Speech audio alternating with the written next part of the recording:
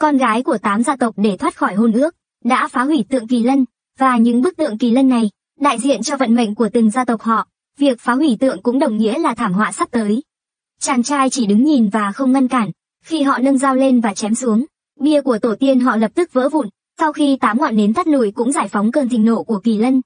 Kỳ lân cổ đại ngủ say ngàn năm từ từ thức tỉnh. Không ai có thể chặn đứng cơn giận dữ, hóa ra 20 năm trước, chín gia tộc không còn lối thoát, ông anh ban cho họ vận mệnh vô thường, để bày tỏ họ đã dâng lên chín lá thư hôn, chờ đợi con gái họ trưởng thành và gả cho chàng trai. Chàng trai đã cảm động bởi lòng thương xót, liều lĩnh đối mặt với nguy cơ bị phạt để thay đổi số phận của họ. Kỳ lân xuống thế. May mắn chia thành 9 con số, bảo vệ sự thịnh vượng của 9 dòng họ. Quả nhiên là kỳ lân, chúng ta đã được cứu. Chín bức tượng kỳ lân đại diện cho vận may khác nhau. Cho phép 9 gia tộc thịnh vượng trong mọi lĩnh vực, đạt đến đỉnh cao rực rỡ. Sau đó chàng trai phun ra máu, anh ấy nhắc nhở chín chủ gia tộc, hôn thư là khóa của vận may trời cao, không thể hủy bỏ nếu không sẽ phải đối mặt với thảm họa. 20 năm sau, quan tài đá của chàng trai được khai quật, và tỏa ra vận may mạnh mẽ, thu hút các vị thần xấu xa, chỉ cần hấp thụ vận may bên trong, có thể khiến đại hạ bị diệt vong. Khi họ chạm vào quan tài đá, hình dáng thật của kỳ lân cảm nhận được sự tỉnh giấc của ác khí. Lúc này ba vị chiến thần của đại hạ cũng đến đây. Để giữ vận mệnh họ bất chấp rời khỏi biên giới để ngăn chặn. Bốn vị ác ma chẳng coi ba người kia ra gì, chỉ trong một chiêu, ba vị thần chiến đã bị đánh đến không có cơ hội phản công. Đúng lúc bốn vị ác ma đang tự hào, quan tài đá đột nhiên vỡ tung, chàng trai như thần từ trời giáng xuống đứng trước bốn ác ma. 20 năm thời gian như chốc lát, chàng trai bây giờ đã hoàn toàn phục hồi sức mạnh, bốn vị ác ma không biết sống chết muốn cùng chàng trai tử chiến. Họ liền giải phóng linh hồn của mình, một là bát kỳ đại xà, ám dạ hồn miêu, nữ giáo sĩ Medusa, thiên sứ Athena, mọi người thấy các ác ma sử dụng chân nguyên liền anh bỏ chạy. Nhưng anh không chút nào núng bay lên không trung. Thánh Kỳ Lân, uy phong hùng vĩ của Thánh Kỳ Lân, các ngươi, có thể được thấy.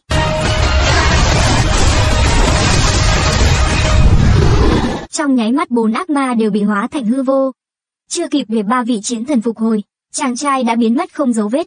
Kỳ lân thánh tôn xuất hiện thiên hạ không ai dám không tuân theo. Ba người vội vàng truyền lệnh phải tìm được chàng trai. Sau khi giải quyết xong ác ma, chàng trai chuẩn bị tìm đến chín gia tộc lớn để hủy bỏ hôn ước trả lại tự do cho họ.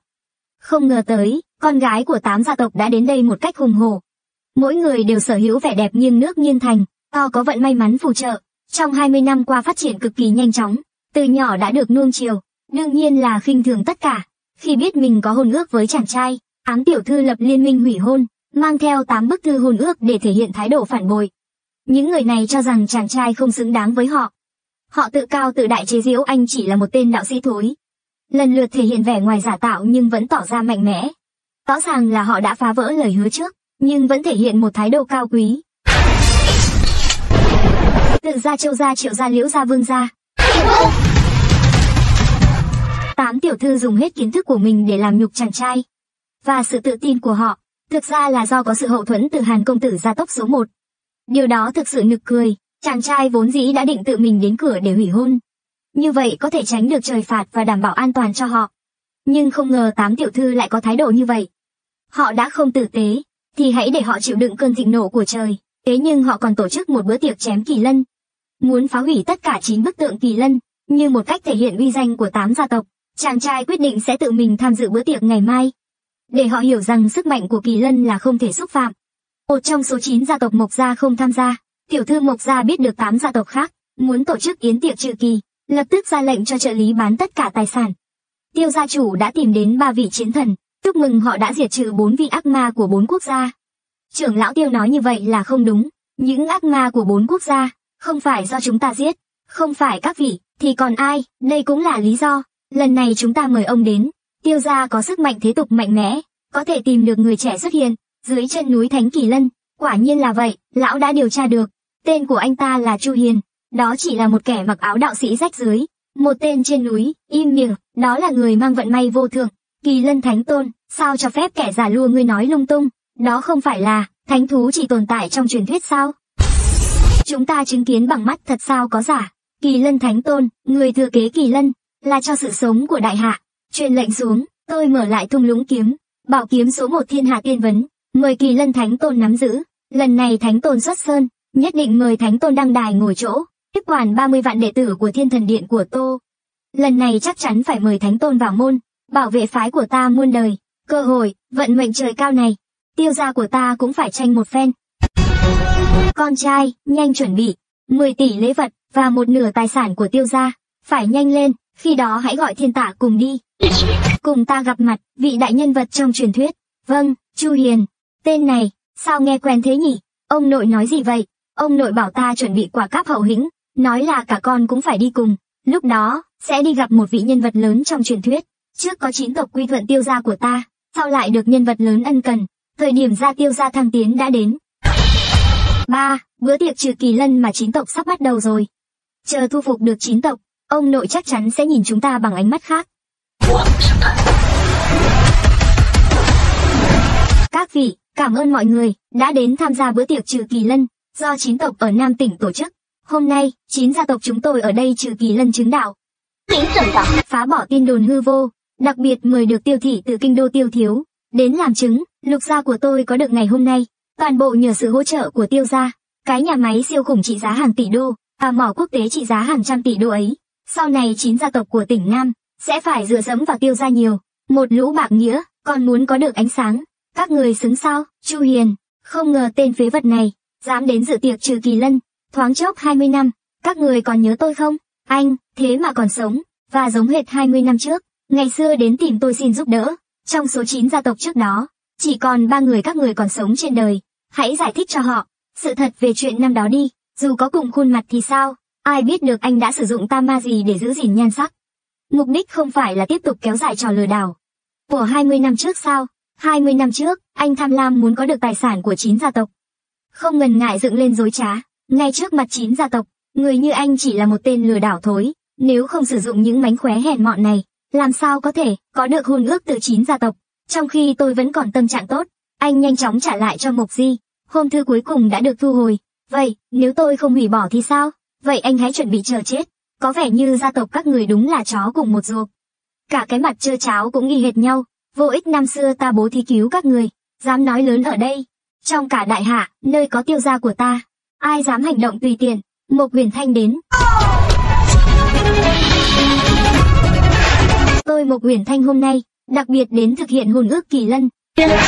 Đây là một phần của lễ vật, 10 căn biệt thự, đây là phần thứ hai của lễ vật, 100 chiếc xe hơi, tôi đã đặc biệt may cho anh bộ quần áo này. Tên là Tử Cân, Tử Cân xanh biếc, lòng tôi thảnh thơi. Lễ vật này anh đã nhận, nhẫn cưới cũng đã đeo, không thể nào từ chối được. mộc huyền thanh, cô điên rồi xa, ai cho phép cô cầu hôn với hắn. Tám đại gia tộc đã hủy hôn, tiểu thư Mộc gia, lại còn muốn nhảy vào. Hôn ước của tôi, từ bao giờ tới lượt các người chỉ trỏ, là do các người không biết hôn này không thể từ chối. Tượng kỳ lân, lại càng không thể chặt đứt.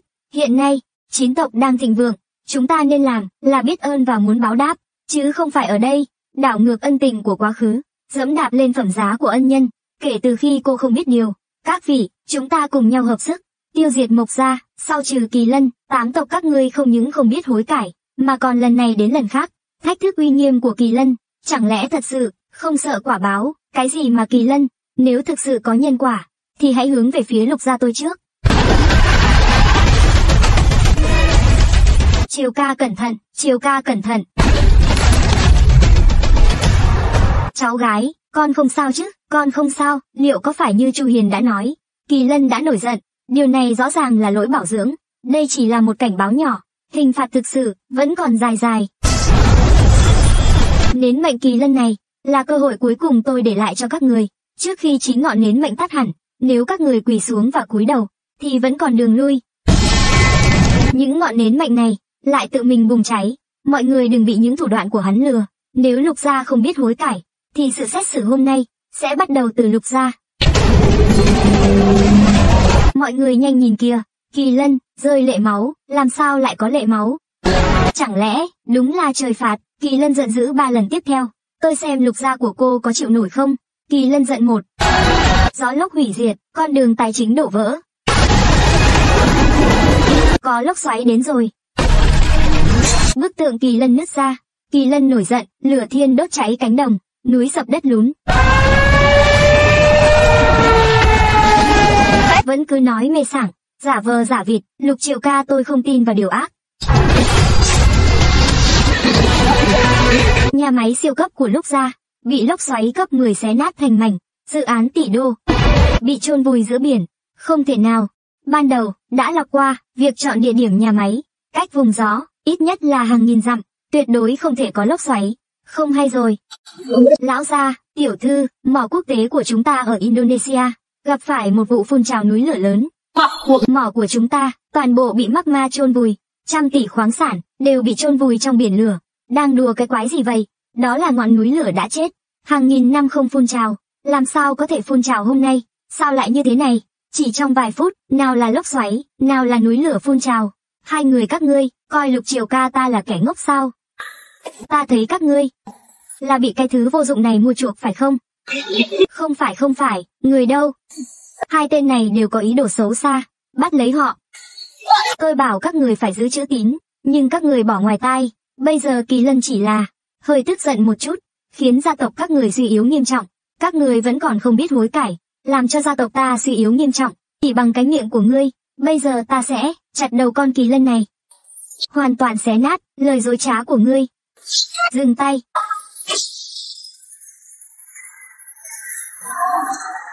Bây giờ hôn ước ta cũng xé bỏ, đầu của con kỳ lân này ta cũng đã chặt, có thể làm gì được ta? Hình phạt ở đâu, quả áo đâu? Ba cơn thịnh nộ kỳ lân. Hồn tiêu phách tán. Không qua được hoàng thủy thoát khỏi nghèo khổ.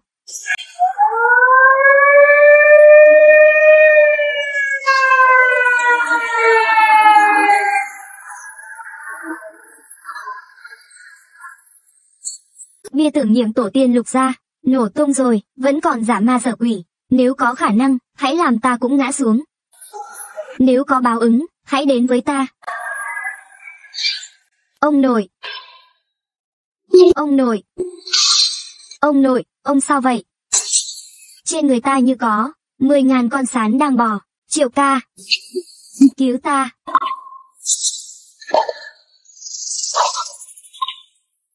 Ông nội, ai có thể cứu ông tôi? Cái này, tôi lấy từ môn phái vân ẩn, thu được dược phẩm tối thượng, hãy nhanh chóng uống nó.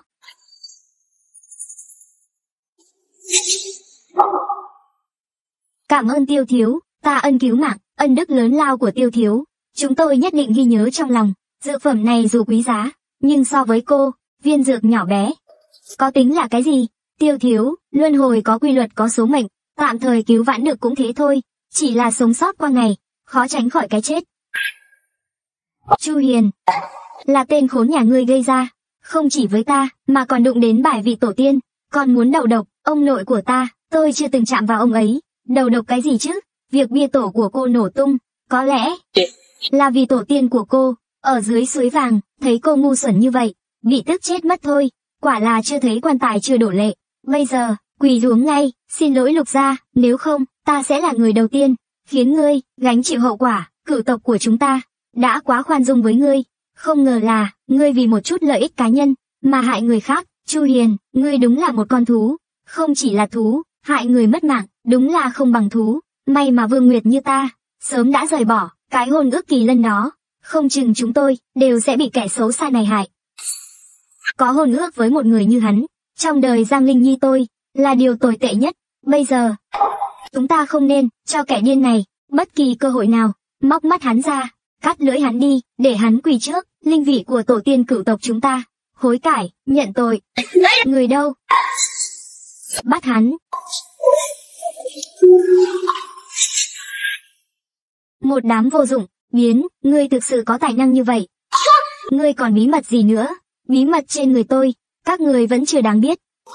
Ngươi nói gì, tôi khuyên các người một câu, hãy mau rút lại, những thủ đoạn của các người, nếu không phải vì hôn ước này, chỉ bằng một chút, kiến thức kém cỏi và tâm hồn hẹp hòi, việc kết hôn với các người, hoàn toàn không hứng thú.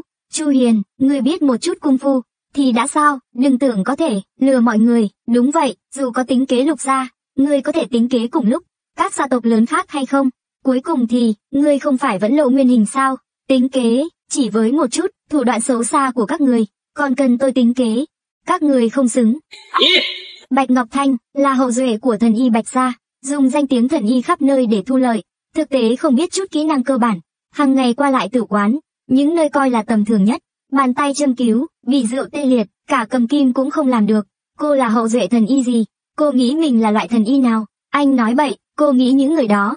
Kính trọng gọi cô là tiểu thần y, là vì cô có tài năng y thuật. Cô có nghĩ những người, quyền quý, là bị mê hoặc, đến hồn bay phách lạc, ham mê nhan sắc, mới hợp tác với bạch gia của cô. Sai. Sai lầm nghiêm trọng, ngươi. Đừng có ở đây vu khống ta. Vu khống, như vậy, cô cứ để, bọn họ đứng ra, chứng minh những gì tôi nói là giả.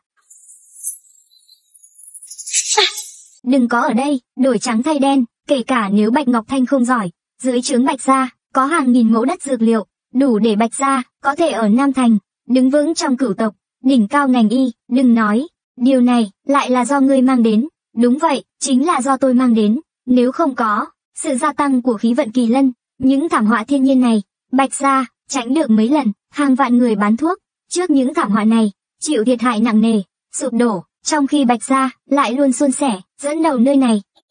Cô nói xem, không nhờ sự bảo hộ của khí vận kỳ lân, thì là gì? Nói về Vương Nguyệt Như, dưới trướng của Diệp Quỳnh nhi một tướng lĩnh, nhưng theo như tôi biết, chưa từng lên tiền tuyến, dù chỉ một lần, các tướng sĩ khác, trên biên giới tắm máu giết địch, ngươi lại coi như cảnh đẹp, đi đây đó chơi bời, mọi công lao của ngươi, đều là nhờ gặp may mắn, tất cả mọi thứ, đều nhờ biết cách lấy lòng người. Nếu không có, sự giúp đỡ của Kỳ Lân, ngươi rốt cuộc, chỉ là một tên lính nhỏ, không có ích gì, còn nói cái gì, về việc ra trận giết địch, lập công lập nghiệp, nói rằng đức hạnh của cô không xứng, cũng là đang tầng bốc cô. Ngươi, người của cửu tộc có mặt ở đây, ngày xưa đều là, ngày càng suy nhược, những người cùng đường, chỉ còn một bước, là sẽ bước vào, vượt sâu vạn trưởng, trở thành xương khô dưới suối vàng, là tôi. Dùng chính đôi tay này, đưa các người lên, là tôi. Dùng khí vận kỳ lân, thay đổi số phận của các người, là tôi, giúp các người có thể, một bước tăng vọt. Nhưng bây giờ, các người lại dựa vào, những thành tựu nhỏ bé của mình, bắt đầu coi thường tất cả, những lời các người nói, toàn là ơn đổi thành oán, những việc các người làm, toàn là lấy mạnh áp bức kẻ yếu. Chuột có da, các người không có lễ nghĩa, chuột có răng, các người không có liêm sỉ. Ngay cả lớp da người này, cũng không nên khoác lên, người các người, thật sự không biết, từ liêm sỉ là cái gì. Mặt mũi của các người, khiến tôi cảm thấy ghê tởm, nhưng sự việc bất thường, mạng người quan trọng, tôi sẵn lòng cho, các người một cơ hội chuộc tội. Lục gia liều lĩnh giết chết kỳ lân, tự tìm đường chết, thần tiên cũng bó tay, chắc chắn phải chết. Ngọn đèn mệnh kỳ lân, vẫn còn sáng, bảy gia tộc còn lại, vẫn còn cơ hội chuộc tội. Chỉ cần là, đem bảy tượng kỳ lân đá còn lại, tập hợp tại đây. Tất cả tội nhân quỳ xuống khấu đầu, thành tâm hối cải. Các người vẫn có thể giống như mộc gia. Tiếp tục thăng hoa không ngừng. Đạt đến đỉnh cao. Thực sự là một vở kịch hay, Chu Hiền, nhưng mà, điều này đủ để chứng minh, ngươi và Mộc Uyển Thanh giống nhau, cũng chỉ là một, kẻ tự cho mình là thông minh.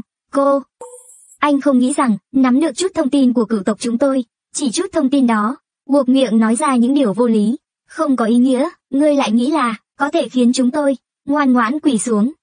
Ngươi quả thật lố bịch, đúng vậy, dù sao, vương gia và bạch gia, hậu duy của họ, không có gì là tài năng, nhưng hai gia tộc hiện nay, có nền tảng phong phú, đủ để cho họ, sống cuộc sống xa hoa.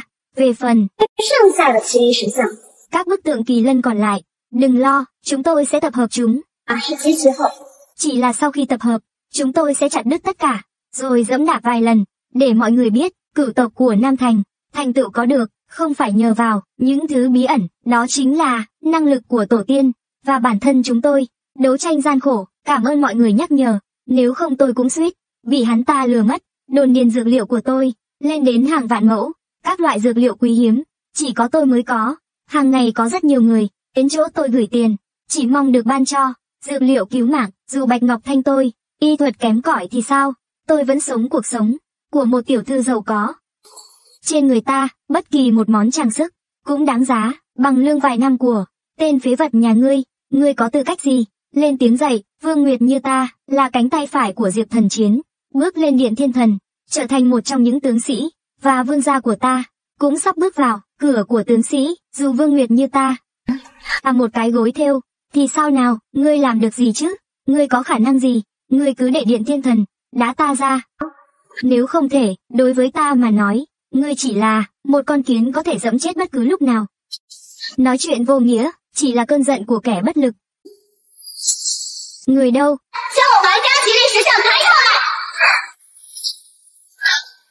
Các người định làm gì? Hắn không phải muốn chúng tôi. Xin lỗi con kỳ lân này sao? Vậy thì, chúng ta cứ làm theo ý hắn. Mộc Uyển thanh, mở to mắt ra, nhìn cho rõ, chúng tôi, xin lỗi như thế nào? Tôi khuyên các người, tốt nhất đừng có chơi đùa. Kiên nhẫn của kỳ lân, có giới hạn của nó. Thật sao? Vậy thì tôi...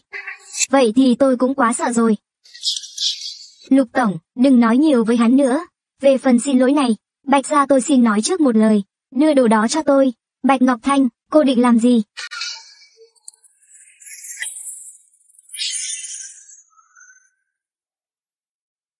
Cô biết mình đang làm gì không? Máu chó đen này, dùng để xua đuổi, ma quỷ, sao dám dùng nó để xúc phạm? Kỳ lân thiêng liêng bảo vệ cửu gia. Thật là xin lỗi nhé, tôi thấy con kỳ lân này, cũ kỹ và bẩn thỉu, nên định rửa sạch, nhìn thì có thể thấy có vẻ như, tôi đã nhầm lẫn, nhưng mà... Tôi cố ý đấy, rồi cô sẽ làm gì được tôi? Thứ vật thần linh gì chứ? Tạt một gáo nước máu chó. Hả? Cho nó tỉnh táo lại, đồng thời cảnh cáo cô, nếu còn giả vờ trước mặt tôi. Kết cục của cô chỉ có thể, thảm hại hơn nó gấp trăm lần. Cô... Đây chính là, thần thú kỳ lân mà ngươi nói sao? Thật vô dụng, tôi còn nghĩ, nếu nó còn giấy rụa vài cái thì tốt. Bây giờ nhìn lại, chẳng qua chỉ là đống đá vụn, giống như ngươi vô dụng vô cùng. Bây giờ, chúng tôi đã xin lỗi xong, đến lượt cô rồi, quỳ xuống. Quỳ xuống, không tôn trọng kỳ lân cũng thôi, còn coi báu vật này, như trò đùa, sỉ nhục đó, sớm muộn cũng bị báo ứng. Ngục huyền thanh, cuối cùng cô đã bị hắn ta. Bỏ bùa mê thuốc lú gì, tôi nên nói cô là ngốc nghếch đáng yêu hay là rốt nát đến mức nực cười.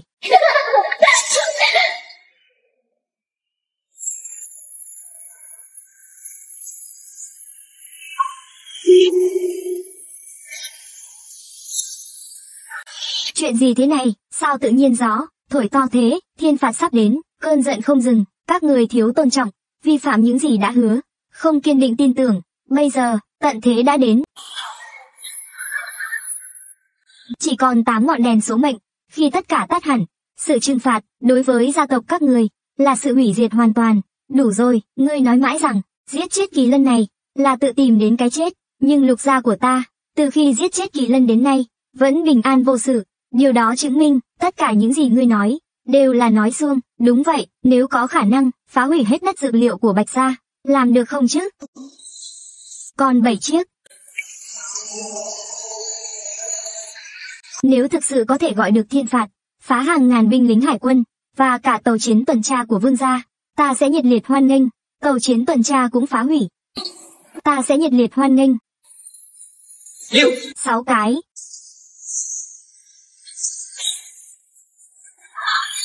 Đây là cơ hội cuối cùng của sự sống còn.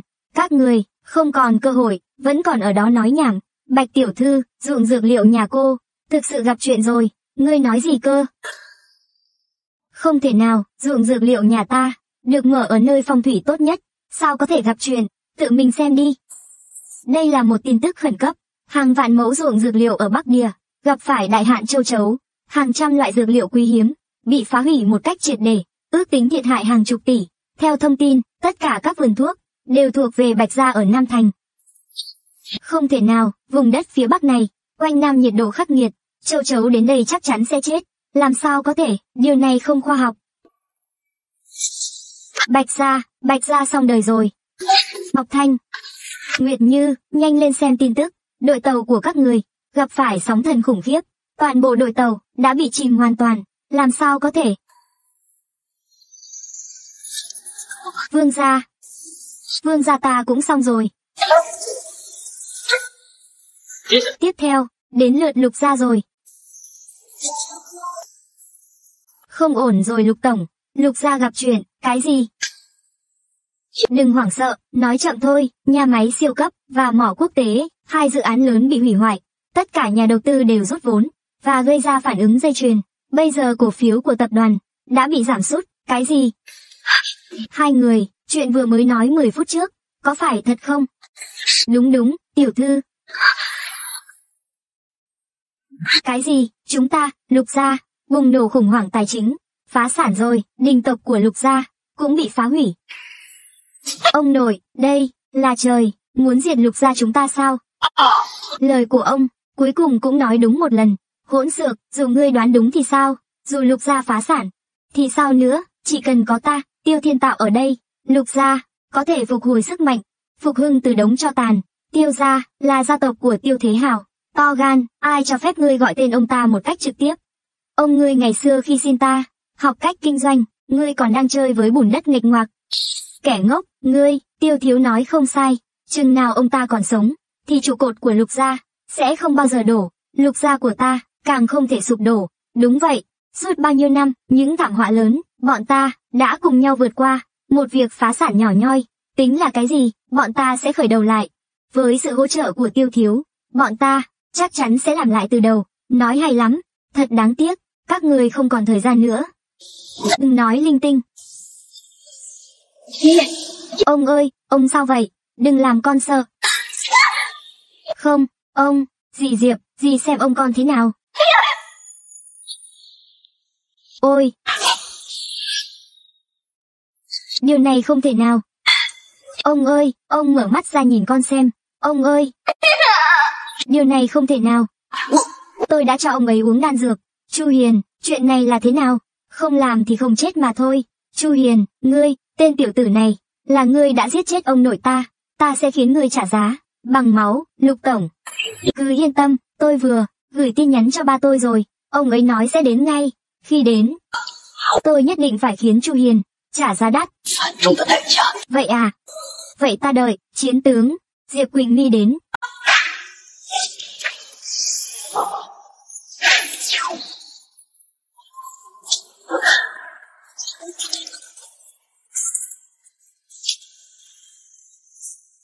Diệp ra, Diệp Quỳnh My, đến để diệt Kỳ Lân. Tuyệt vời, con gái ta đã đến, gia chủ tiêu gia đến. Ba tôi cũng đến. Con gái, chính là tên khốn này, không chỉ làm loạn tiệc Chu Kỳ Lân, mà còn đối đầu với chín dòng họ chúng ta, thậm chí còn đầu độc, giết chết lão gia của lục gia, đáng chết ngàn lần, đầu độc. Hắn hôm nay tại tiệc Chu Kỳ Lân, không chỉ khinh thường tiêu gia của tôi, còn nói rằng ông nội ngày xưa, là nhờ học hỏi cách kinh doanh từ hắn, tiêu gia chúng tôi mới có ngày hôm nay. Điều này đơn giản, là đang dẫm đạp lên uy danh của tiêu gia chúng tôi. Thằng nhãi, dám nói lời điên rồ, ngươi có biết mình, đang làm gì không, biết thì thế nào? Không biết thì như thế nào, thân như đỉnh núi của đại tượng, làm sao phải bận tâm, tới những con kiến hạ tiện. Chết đến nơi rồi, vẫn dám nói lời điên rồ, nói nhiều vô ích, ta sẽ cho hắn biết, chọc giận tiêu gia là hậu quả gì.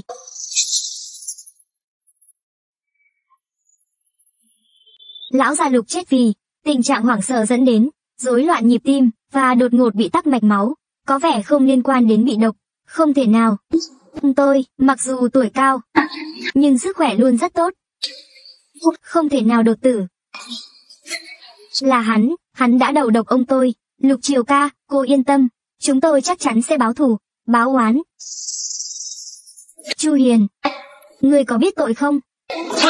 Tội gì ta có, trước đây, ta đã ba lần năm lần nhấn mạnh, con kỳ lân này không thể giết, không thể chống lại thiên đạo, nhưng lục gia của hắn, cứ cố chấp không hiểu, chống lại trời, phạm vào cấm kỵ của kỳ lân, quy tắc cấm kỳ lân, tự mình chuốc lấy cái chết, liên quan gì đến tôi, tên khốn, còn dám biện minh, ngươi đã giết ông ta, ta sẽ làm cho ngươi nát thịt xương tan, triều ca, tội của hắn do ta quyết định, nếu ngươi tự ý hành động, sẽ cùng tội với hắn.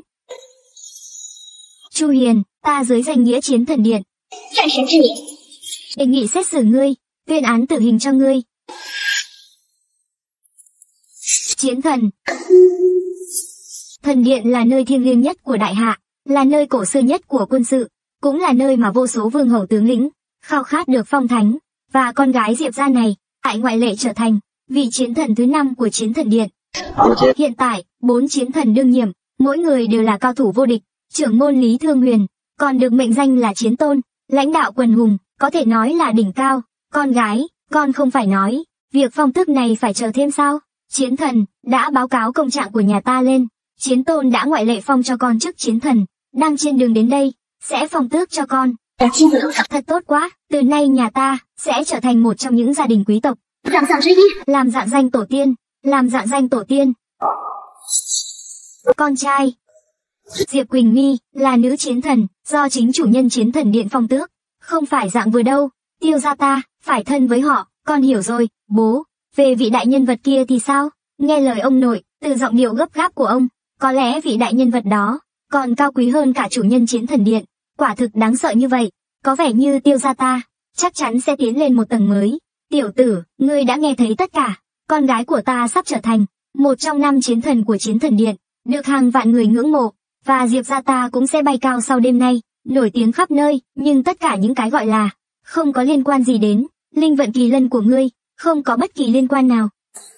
Hiểu chưa, chỉ là một bức tượng đá mà thôi, còn dám mơ mộng cắt đứt thiên mệnh của Diệp gia ta. Cắt đứt tương lai của Diệp Quỳnh nghi thật là trò cười, con gái ta nói đúng. Ta khinh. Tượng kỳ lân, đã chuyển động. Tượng kỳ lân, làm sao lại chuyển động được? Liệu có phải lời của mẫu thân Diệp gia đã khiến kỳ lân phẫn nộ? Cô đang nói gì thế? Chắc chắn là thằng họ Chu kia đang làm trò. Chu Hiền, hãy cất những trò hề lố bịch của ngươi đi. Nếu ngươi thực sự có năng lực, hãy làm cho kỳ lân hồi sinh trước mặt mọi người. Ấm như vậy, không khác kẻ hề lấy lòng công chúng. Có gì khác biệt, vị chiến thần thứ năm của điện chiến thần. Cô chỉ có chút kiến thức nông cạn thôi sao? Cái gì, quá trơ trẽn, dám không kính trọng chiến thần. Ngươi đã ăn gan báo à? Bây giờ biết dùng, danh tiếng của chiến thần để áp đặt người khác. Ban đầu, như một con chó mất nhà, mang theo cô ấy khi còn nhỏ, đến trước mặt tôi cầu cứu. Không phải kiêu ngạo và ngang tàng như bây giờ. Tự cao tự đại, việc ký kết hôn ước với ngươi hồi đó, chỉ là sự nhầm lẫn của gia tộc. Bây giờ đừng có, lấy cái này ra làm cái cớ. Được, nếu nói rằng lục gia, ngày xưa bế tắc, bị người ta vây trong kinh doanh, vậy nhà bà, hoàn toàn yếu kém vô dụng. Trong quân doanh không dám xông pha giết địch, chỉ dám lẩn tránh để sống sót. Nếu không có may mắn của kỳ lân che chở, con cháu nhà Diệp gia bà, lấy gì để liên tục giành chiến công? Các người làm sao xứng đáng, với việc được phong tước, ở vị trí cao nhất. Ngươi, đừng có nói lung tung, phản thật rồi, đúng là phản thật rồi. Nói thêm về cố gia, năm đó cố gia là gia tộc yếu nhất, nếu không có sự bảo hộ của kỳ lân, với tài năng tầm thường của các người, đến cửa phái vân ẩn, cũng không leo nổi lên, huống chi là vào phái tu luyện, gia nhập môn phái, chính bằng sức mạnh của kỳ lân, ta đã thay đổi số phận cố gia, và ban cho con cháu cố gia tài năng thiên bẩm, tu luyện nhanh chóng, nếu không, cố gia ngươi sống sót cũng khó, huống hồ là con đường võ đạo. Tiểu tử, ngươi ngươi ngươi. Và ngươi, tất cả các người, năm đó chỉ là ở tỉnh phía Nam, chín lực lượng không nổi bật, là do ta sử dụng vận mệnh kỳ lân, thay đổi số phận các người. Hàng ngàn gia môn nổi tiếng, đều khao khát vận mệnh kỳ lân, mong mà không được, nhưng các người, không những không biết ơn, mà còn lập lại uy quyền, thách thức quy luật, nếu không có sự ủng hộ của kỳ lân. Các người, chỉ là một con kiến nhỏ trên thế giới này, sinh mệnh như cỏ rác, đời sống như bùn lầy. Sinh ra làm người, có thể không tài không thế, không quyền không trí, nhưng tuyệt đối, không thể vong ân phụ nghĩa. Các vị, bây giờ Diệp Chiến Thần đã có mặt, kể cả nếu Chu Hiền, có bao nhiêu mưu mẹo và kế sách, chúng ta đều không cần phải sợ hãi, nhất định không được mắc mưu của hắn. Dù ngươi nói, lung tung thế nào, cũng không thể thay đổi, việc ngươi gây rối, mưu sát và hãm hại, mưu sát và hãm hại, nếu nói về việc đổ lỗi, thì phải kể đến các ngươi. Diệp Chiến Thần, tiêu gia tôi, vốn không có ý định tham gia vào chuyện của các ngươi, và mối quan hệ với kẻ này. Nhưng theo lời con trai tôi, người này, trước mặt mọi người, xúc phạm ông cố tiêu gia, bôi nhọ danh dự của gia đình tôi, như vậy, tôi không thể không ra mặt, đòi lại công bằng, tiêu gia chủ, quả thật có chuyện này. Anh ta, lời nào cũng nói, ông cố tiêu gia là, nhờ anh ta giúp đỡ, mọi người có mặt, đều nghe thấy, đúng, chính là anh ta, chẳng phải sao, hỗn xược, đúng là coi thường tiêu gia. Không dám ra tay sao? Tu Hiền, tiêu lão gia, trong toàn bộ giới thương nhân đại hạ, là người có vai vế như ông trùm, không thể so sánh với chín gia tộc của tỉnh Nam, anh có thể tranh luận với tám gia tộc lớn, nhưng mà, không thể nào nói tiêu lão gia được. Ông trùm sao, nghe có vẻ, rất lợi hại, em có cách liên hệ với ông ấy không? Điều này em biết, nhưng tại sao anh? Em hiểu rồi, anh muốn trực tiếp, xin ông ấy tha thứ phải không? Em giúp anh gọi, có lẽ ông ấy, rộng lượng, sẽ không tính toán với chúng ta. Không, anh gọi cho ông ấy là, bảo ông ấy đến xin lỗi. Hả? Các vị đã nghe thấy chưa? Hắn ta thế mà dám nói, bảo ông trùm thương mại của đại hạ phải xin lỗi. Hành động này các người thật to gan, các người dám làm loạn tại bữa tiệc, đã là tội lớn, làm phiền tiêu lão gia, càng là tội chồng tội. Không ai có thể cứu được các người. Diệp chiến thần, để cô ấy gọi đi, nhưng đừng trách thiếu gia tôi không cảnh báo. Ông nội tôi ra tay luôn rất mạnh mẽ, nếu ông ấy ra tay, có người sẽ chết đấy, nhanh chóng bắt lấy hắn. Tại khu bán hàng, chờ đã. Diệp chiến thần để hắn nói. Những năm này, hắn chính là người đầu tiên, dám, thách thức tiêu gia tôi. Tôi thực sự muốn xem, sau khi hắn gọi điện thoại này, tiêu lão gia của chúng ta, sẽ phản ứng thế nào? Không thể gọi điện thoại này, có lẽ anh không biết, một biệt danh khác của tiêu lão gia, ông trùm bóng đêm, quyết đoán giết chóc, không khoan nhường, một khi đã đắc tội với ông ta, dù anh chạy trốn khỏi đại hạ, cũng sẽ bị truy sát đến tận cùng trời cuối biển. Cứ yên tâm, chỉ là tiêu gia mà thôi, không đáng sợ. Tôi cứ nghĩ, cái người này sao quen quá. Hóa ra ngày xưa, là người đã chỉ bảo ông tôi, đạo sĩ du mục, chính là huyền thoại, kỳ lân thánh tôn vô thượng. Bấy lâu nay, dấu vết của thánh tôn, điều tra thế nào rồi? Bẩm lão gia, đã tìm thấy rồi, bây giờ, anh ta đang ở tỉnh Nam và tham gia. Tiệc chu kỳ lân do chín tộc tổ chức. Vậy cái tiệc chu kỳ lân này, cuối cùng là chuyện gì vậy? Tiêu Thế Hào, tôi cho ông trong nửa khắc đồng hồ, đến tiệc chu kỳ lân, quản lý lại, con trai và cháu trai bất tài của ông. Nếu không đến được, tôi không ngại, biến tiêu gia của ông thành cho bụi, dám nói với tôi lời bất kinh như vậy. Tôi xem anh là... Tờ đã. Anh nói anh là... Cái gì? Anh là Thánh Tôn Đại Nhân, nửa khắc đồng hồ một khi qua, tiêu gia sống hay chết. Tự ông quyết định, Thánh Tôn Đại Nhân, xin hãy bình tĩnh, tôi, kết thúc, hai thằng khốn này, cuối cùng đã làm gì? Mà khiến Đại Nhân Thánh Tôn giận dữ, lửa giận của Thánh Tôn Đại Nhân thiêu đốt cả trời đất. Làm sao một người bình thường, dám chọc giận ngài ấy, nhanh, chuẩn bị một món quà sang trọng. Trong nửa giờ, phải đến được yến tiệc Chu Kỳ Lân, không phải, anh, anh nói anh muốn diệt tiêu ra, đúng, đây là cơ hội cuối cùng anh dành cho hắn, tiêu thế hào. Cơ hội cuối cùng.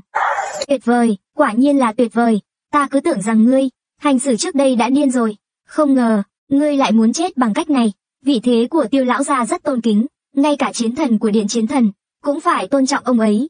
Cuộc gọi của ngươi, với tiêu gia, không còn cơ hội quay đầu, nếu tôi không nhớ nhầm, người cuối cùng dám đối đầu với ông nội tôi, là chủ tịch hội Nam Kinh, bây giờ ông ấy, vẫn ở bệnh viện tâm thần, cả việc đi vệ sinh cũng phải báo cáo.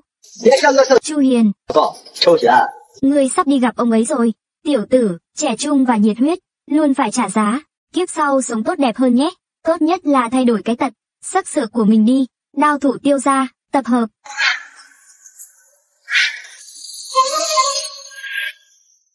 Diệp Chiến Thần, đao thủ tiêu gia mà chúng tôi đào tạo, so với những chiến binh của Chiến Thần Điện, như thế nào?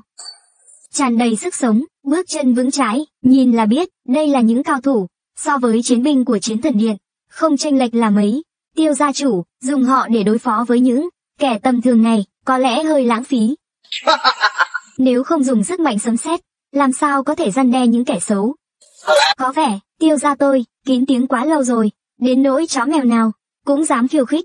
Hôm nay, tôi, sẽ dùng lưới dao lạnh này, trừng phạt kẻ cuồng vọng, cảnh cáo thế gian, ai dám, xâm phạm uy danh tiêu gia, phải chịu đựng, việc bị lột da rút gân. Sống không bằng chết, tiêu gia chủ, hôm nay tôi cùng chín tộc, và tiêu gia chủ, xét xử kẻ này, nhưng trước đó, xin cho phép tôi trước tiên tiêu diệt kỳ lân đó, để tuyên bố với thiên hạ, thành quả của tiệc chu kỳ lân này, xin mời. Mang những con kỳ lân còn lại, tất cả đều đưa lên đây.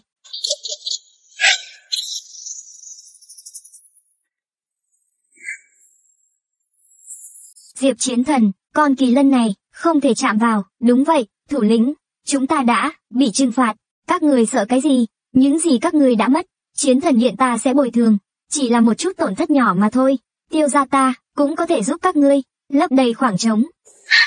Thế thì tốt quá rồi, thế sự vô thường, những cái gọi là, quả báo và trừng phạt, chẳng qua chỉ là vô tình trúng phóc mà thôi, tôi, không tin những lời mê tín dị đoan, tôi chỉ tin.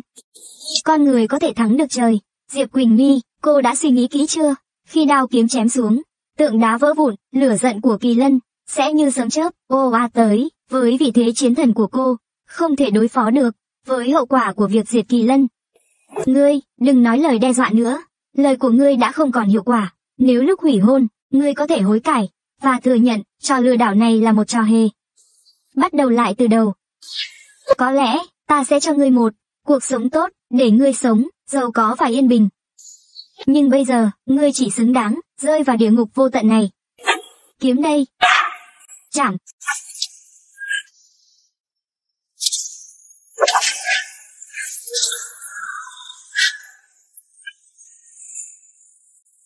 Diệp ra tôi, chém kỳ lân, sau đó liên quan đến, tin đồn về vận mệnh kỳ lân. Sẽ không còn. Con gái tôi, cố nhan nhiên vẫn đang trên đường. Hôm nay kỳ lân này, để ta chặt đứt đầu nó.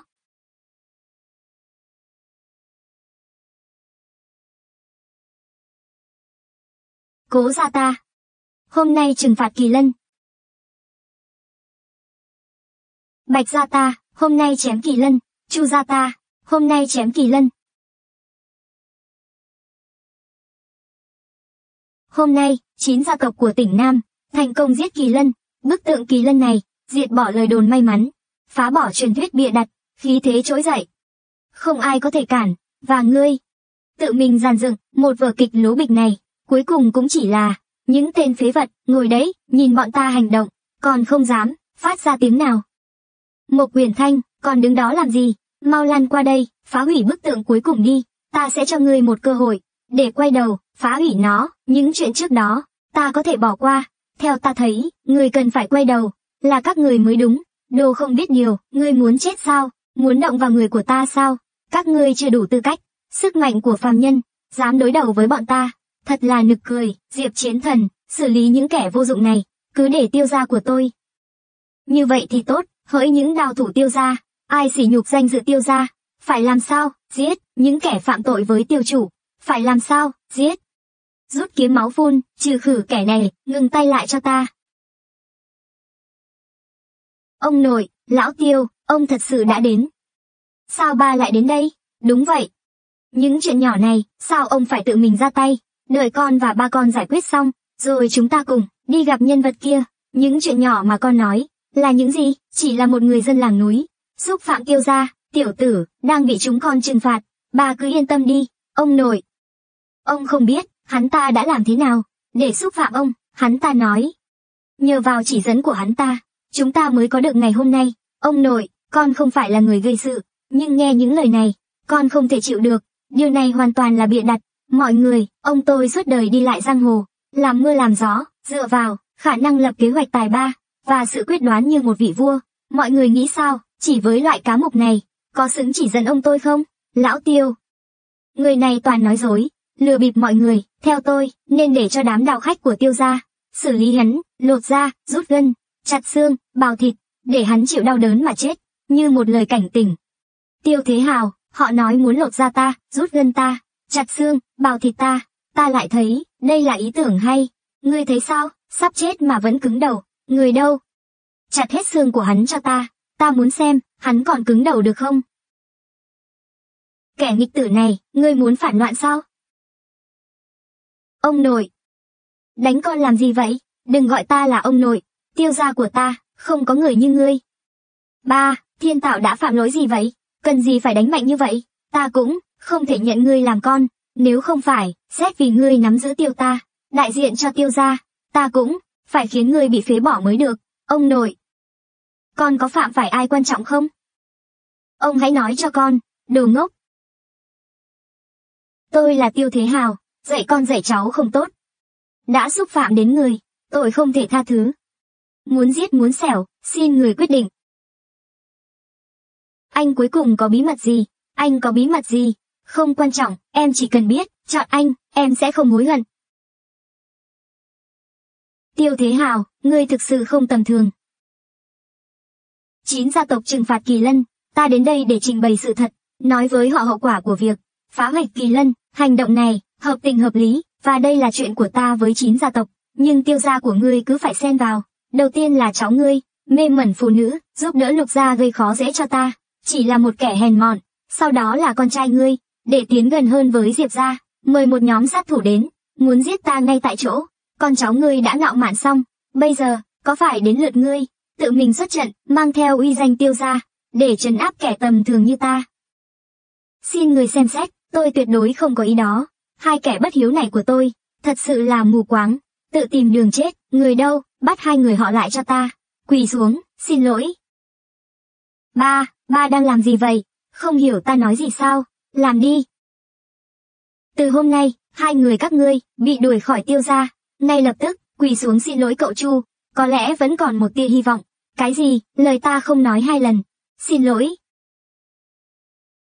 Cậu Chu, trước đây, là cha con tôi, quá vội vàng và bất lịch sự, mong cậu tha thứ. Xin lỗi. Là lỗi của tôi. Cậu Chu, người thấy hình phạt này, có hài lòng không, dám đối xử với người nhà như vậy, làm sao, không sợ ta là, kẻ hù dọa nhưng yếu đuối bên trong. Người nói đùa rồi, danh tiếng của người, tôi không đủ tư cách để nghi ngờ. Hồi đó, khi tôi xa cơ lỡ vận, chỉ vài lời chỉ dạy của người, khiến tôi như nhận được gạn lọc tinh túy, đạt được thành tựu ngày nay. Bây giờ, ngươi lại xuất hiện, chỉ cần tiêu gia có thể làm được, ngài cứ ra lệnh, dù phải băng qua lửa và nước, chết không từ chối, năm đó ta cũng chỉ là, thấy ngươi có tuệ căn tốt, tùy thiệt dạy ngươi vài câu, tiêu gia có hôm nay, QNMG lớn, là nhờ vào sự cố gắng của ngươi, nhìn vào ngươi còn, có khả năng nhìn người, tiêu gia có thể bình an, hãy đứng dậy, cảm ơn cậu Chu đã khoan dung. Cậu ấy là ân nhân của cha, lão tiêu, ông có phải đã bị Chu Hiền, lừa rồi không, hắn ta chỉ là một, kẻ lừa đảo mà thôi, ngươi đồ đàn bà độc ác, còn dám nói nhiều, kêu người, tát cho ta. Triều ca, đây chính là người mà ngươi trân trọng, nữ thần của thiên hạ, làm mù mắt ngươi sao? Kẻ mơ u muội, một kẻ, muốn vào cửa tiêu ra, thực sự là ảo tưởng. Lão tiêu, lão phù nói, không phải việc ngươi xen vào, ta nói cho ngươi biết, từ hôm nay, tiêu gia, sẽ cắt đứt mọi quan hệ, với lục gia của ngươi, trong mọi lĩnh vực kinh doanh, do tiêu gia quản lý, tất cả các doanh nghiệp, sẽ bị ta loại bỏ, không để đường sống, nghe tôi giải thích. Lão tiêu, ông làm thế có quá đáng không? Không phân biệt đúng sai, đã coi tên vô dụng, như là ân nhân cũng được, còn hành động với hậu bối của mình, còn muốn nhắm tới chúng tôi, cả chín họ ở phía nam, cánh tay của ông, có vẻ cũng vươn quá xa một chút. Ngươi, là ai vậy? Chủ nhân của thiên thần điện, Diệp Chiến Thần, muốn dùng thiên thần điện để áp đảo ta. Có lẽ trước kia, ta còn e ngại một chút, bây giờ không đủ tư cách. Ta tuyên bố từ ngày hôm nay, chín họ của tỉnh Nam, ngoại trừ Mộc Gia, các nhà còn lại, đều được liệt vào, danh sách cấm của tiêu gia, mãi mãi là kẻ thù, không khoan nhường. Đây, Chu Huyền, em không nghe nhầm chứ? Tất nhiên là không, đây là những gì em xứng đáng nhận được. Cô Mộc, nếu cô không chê, sau này ở toàn bộ tỉnh Nam, Mộc gia của cô sẽ là đối tác lâu dài của tiêu gia tôi. Quà đâu, quà của tiêu gia đã đến, 50 cây nhân sâm trăm năm tuổi. 100 tòa nhà trung tâm lớn. Cộng thêm đơn hàng thương mại. 300 tỷ. Cậu Chu, cô Mộc, xin hỏi, hai người có hài lòng không? Lão Tiêu, ông quá lịch sự rồi. Vì lý do thời gian, chỉ chuẩn bị được những ngày. Xin hãy yên tâm, từ nay về sau, tiêu gia của tôi. Chắc chắn sẽ dốc toàn lực, hỗ trợ Mộc gia. Trở thành gia tộc hàng đầu của đại hạ, làm tốt lắm, lần này tôi sẽ không truy cứu. Cảm ơn đại nhân. Tiêu lão gia tổ. Ông đã suy nghĩ kỹ chưa? Nhưng điều đó không có nghĩa là ta sợ bắt đại gia tộc. Diệp gia của ta được bảo hộ của Điện Thiên Thần, ngươi dám cấm vận, đó là sự bất kính với Điện Thiên Thần. Ông nghĩ rằng hắn có thể giúp tiêu gia của ông đối đầu với Điện Thiên Thần ư? Con gái tôi Cố Yến Nhiên sẽ trở thành tiểu tông chủ của Vân ẩn tông, cho dù tiêu gia các ngươi có thể áp đảo bọn ta, tám tộc của Nam tỉnh có chịu nổi cơn thịnh nộ của Điện Thiên Thần không? Cũng không bằng sức mạnh tối cao của Vân ẩn tông. Một khi con gái ta ra tay, các ngươi sẽ không thể chịu đựng nổi. Ông nội, chẳng lẽ Ông thực sự muốn tên nhóc Chu Hiền, mà từ bỏ tiêu gia của chúng ta sao?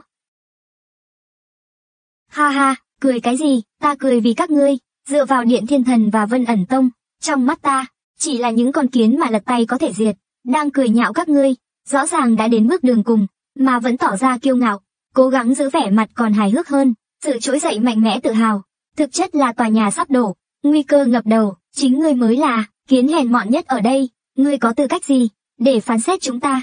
Hèn mọn, được, thì hôm nay ta sẽ cho cô biết. Danh tính của ta, anh Chu, cuối cùng cũng tiết lộ danh tính của mình. Người đâu, xin mời đưa ngai vàng thiêng liêng, mang lên đây. Kính mời anh Chu, ngồi xuống. Kính mời anh Chu, ngồi xuống, ta, Chu Hiền, được xưng là Thánh Tôn, sinh ra đã đứng trên đỉnh trời xanh, nhận được may mắn của kỳ lân, chặt đứt ma quỷ của thế gian, pháp sư và quỷ môn khi gặp ta, như thấy mặt trời trói lọi, vạn lực lượng kính trọng ta, như thần linh trước gương. Kỳ lân trở về vị trí, nằm la liệt triệu xác các bang, trời phạt sẽ sớm đến, các ngươi, không còn đường sống nào nữa.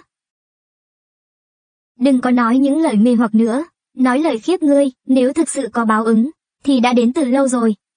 Không ổn rồi, cô chủ, kho dược liệu của nhà chúng ta, đã bị cháy nổ hoàn toàn, tài sản gia tộc, gần như bị phá hủy hết. Anh nói gì, làm sao có thể như vậy được, tôi đang cho người điều tra, may mà, kho chứa dược liệu trăm năm, kho số 1 vẫn không sao, tôi đang chỉ đạo xử lý. Anh nói gì, vương gia của tôi trong quân đoàn, tất cả quyền lực và vị trí, đều bị hủy bỏ, là do các phe phái khác, cùng nhau hợp tác làm điều đó. Bà chủ có chuyện, biên giới phía Bắc đột ngột thay đổi. 800.000 quân áp biên, 30.000 binh sĩ diệp ra, đóng quân tại biên giới, chiến đấu máu lửa, nhưng vẫn vì sự phản bội của nội gián, gần như toàn quân bị diệt. Cô nói gì? Đây chính là lực lượng trung tâm, quan trọng nhất của Diệp gia, vẫn còn một phần nhỏ binh sĩ. Tôi sẽ dẫn quân phá vòng vây, cố gắng bảo toàn. Kẻ địch lại tiến công. Con gái, phải làm sao bây giờ? Quân đội Diệp gia, không thể gục ngã, bốn quốc liên thủ, quân đại diện áp giới. Chuyện gì đã xảy ra vậy? Mẹ đừng lo, con sẽ báo cáo với Điện Thiên Thần. Chiến tôn đại nhân, sẽ đứng ra cứu vãn tình thế. Kỳ lân đứt gãy, chẳng lẽ, là quả báo do kỳ lân mang lại?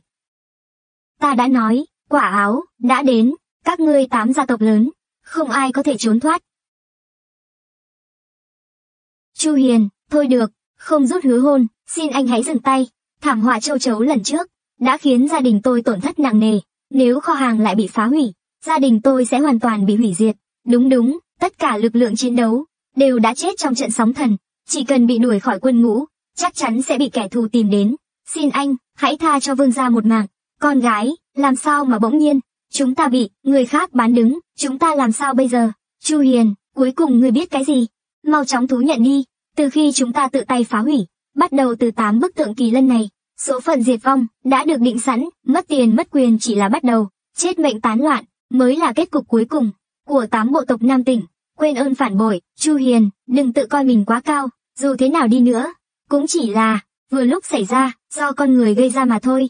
Cô nói, đây là thảm họa do con người, chẳng phải sao, cho đến bây giờ, bọn ta cố ra, chưa từng gặp vấn đề gì, đó là bởi vì nhà bọn ta, được sự bảo hộ của phái ẩn vân, ngươi, những thủ đoạn bẩn thỉu đó, không thể làm gì bọn ta, ha ha.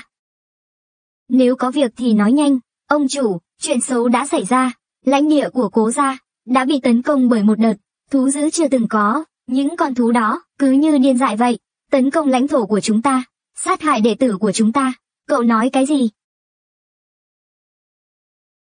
Chuyện quái lạ như vậy, làm sao có thể xảy ra, dù có đợt thú dữ, cậu mời tiên nhân của Tàng Vân Tông, diệt trừ không phải được rồi sao?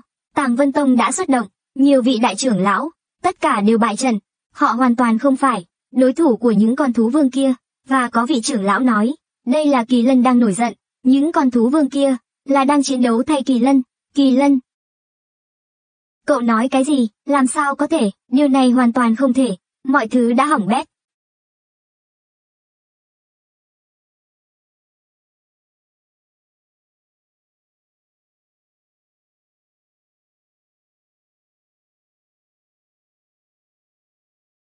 Chu Hiền, ngươi đã làm cái quái gì vậy? Ngạo mạn nữ nhân, danh tiếng thánh thần, làm sao ngươi có thể gọi được? Khả năng xuyên không gian này, thực sự quá khủng khiếp. Ba, cuối cùng ông ấy là, một loại quái vật gì vậy? Con trai, con nhớ kỹ, kế tiếp, dù phải đối đầu với thiên đình, chiến đấu với Vân ẩn tông, thậm chí là đối đầu với cả thế giới, không ai có thể đối đầu với Chu Hiền, hiểu không, con? Con hiểu, Cô Lục Triều ca, mày, nếu mày còn dám nhìn cô ấy nữa, ta sẽ đánh mày thành phế vật. Mày, Triều ca. Xin lỗi. Các ngươi đã làm gì?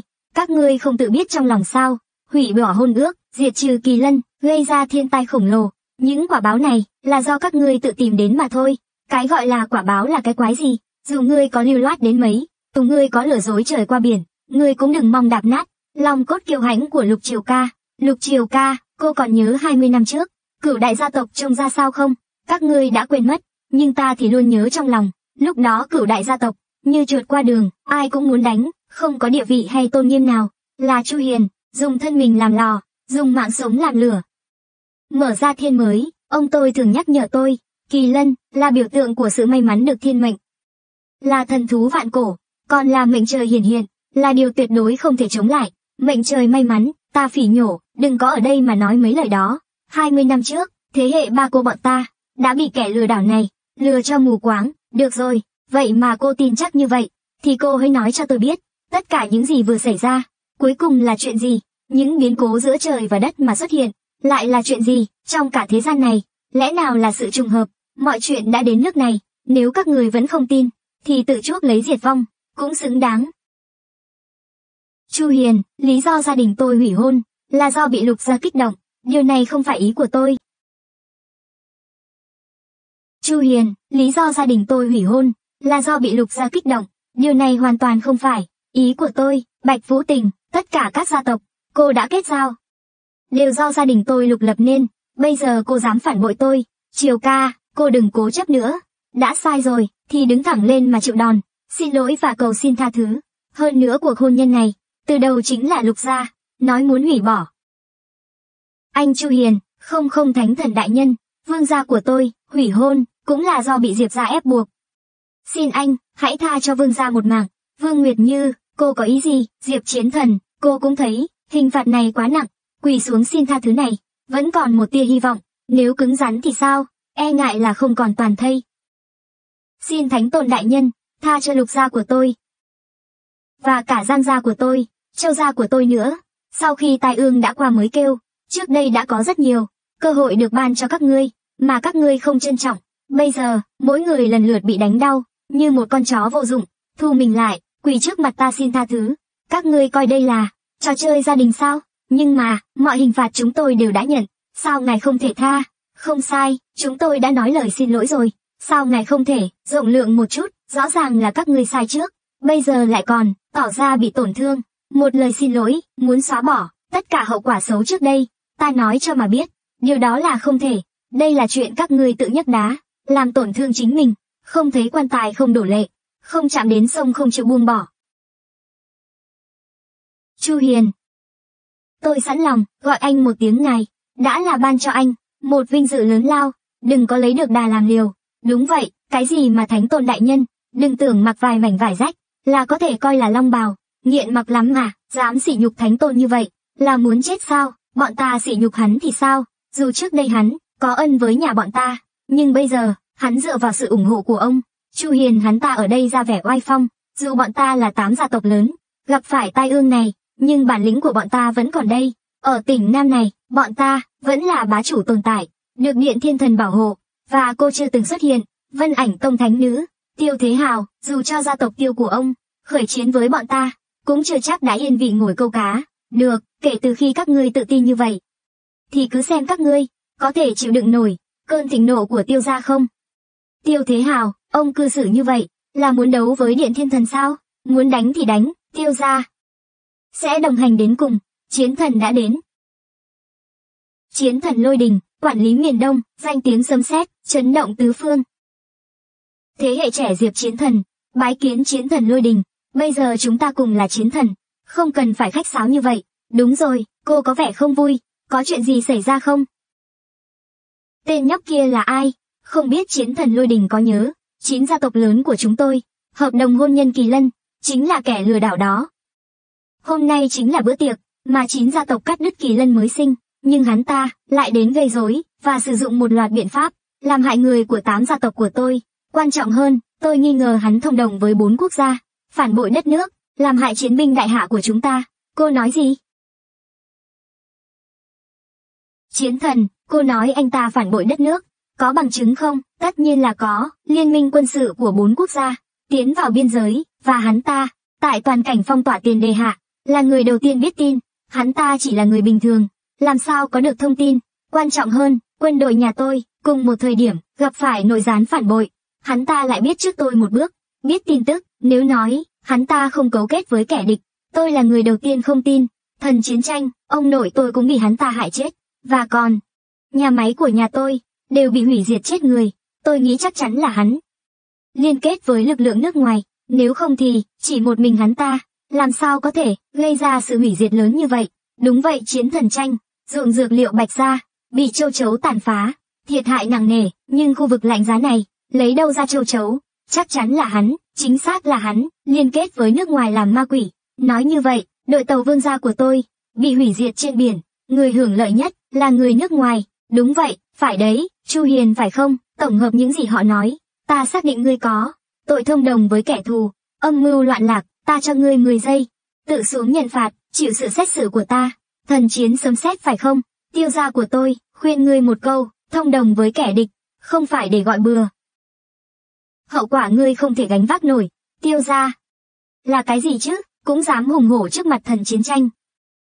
Cái gọi là phản quốc thông đồng, ngư phản loạn lạc, đền thần trời thành lập, cũng đã có 100 năm rồi. Cuối cùng ngươi nấng lũ, vật vô dụng này.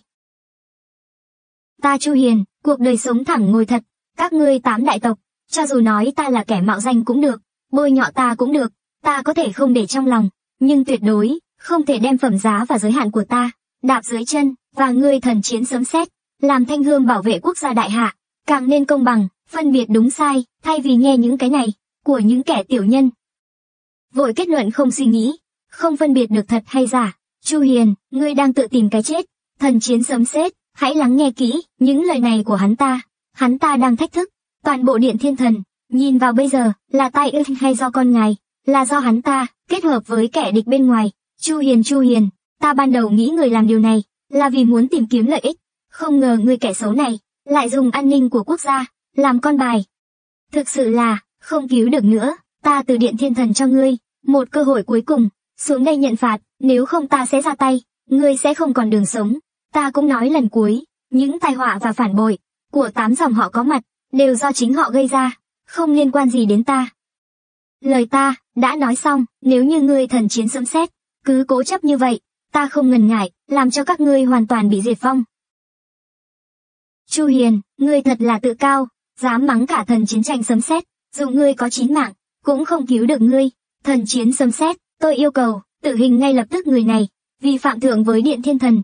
Trong nhiều năm qua, dám coi thường Điện Thiên Thần như vậy, ngươi là người đầu tiên. Được, rất tốt, thần chiến điệp, tôi định sử dụng lệnh phán quyết. Ý của cô thế nào? Đối với loại người này, không coi luật pháp ra gì, kiêu ngạo quên mình như kẻ trộm cướp, tôi hoàn toàn đồng ý. Sử dụng lệnh phán quyết với họ, lệnh sự tử của thiên tử là lệnh xét xử, ít nhất hai thần chiến tranh, cùng nhau kích hoạt lệnh xá. Không sai, có thể khiến điện thiên thần, kích hoạt lệnh xét xử. Chắc chắn không phải là, kẻ ác tộc tột cùng. Chu Hiền, ngươi đã chết chắc, nếu như vậy. Quân lính điện thiên thần tập hợp. Trừ khử phản tặc, không thể chần chừ, bắn. Trừ khử phản tặc, không thể chần chừ, bắn. Bảo vệ anh Chu.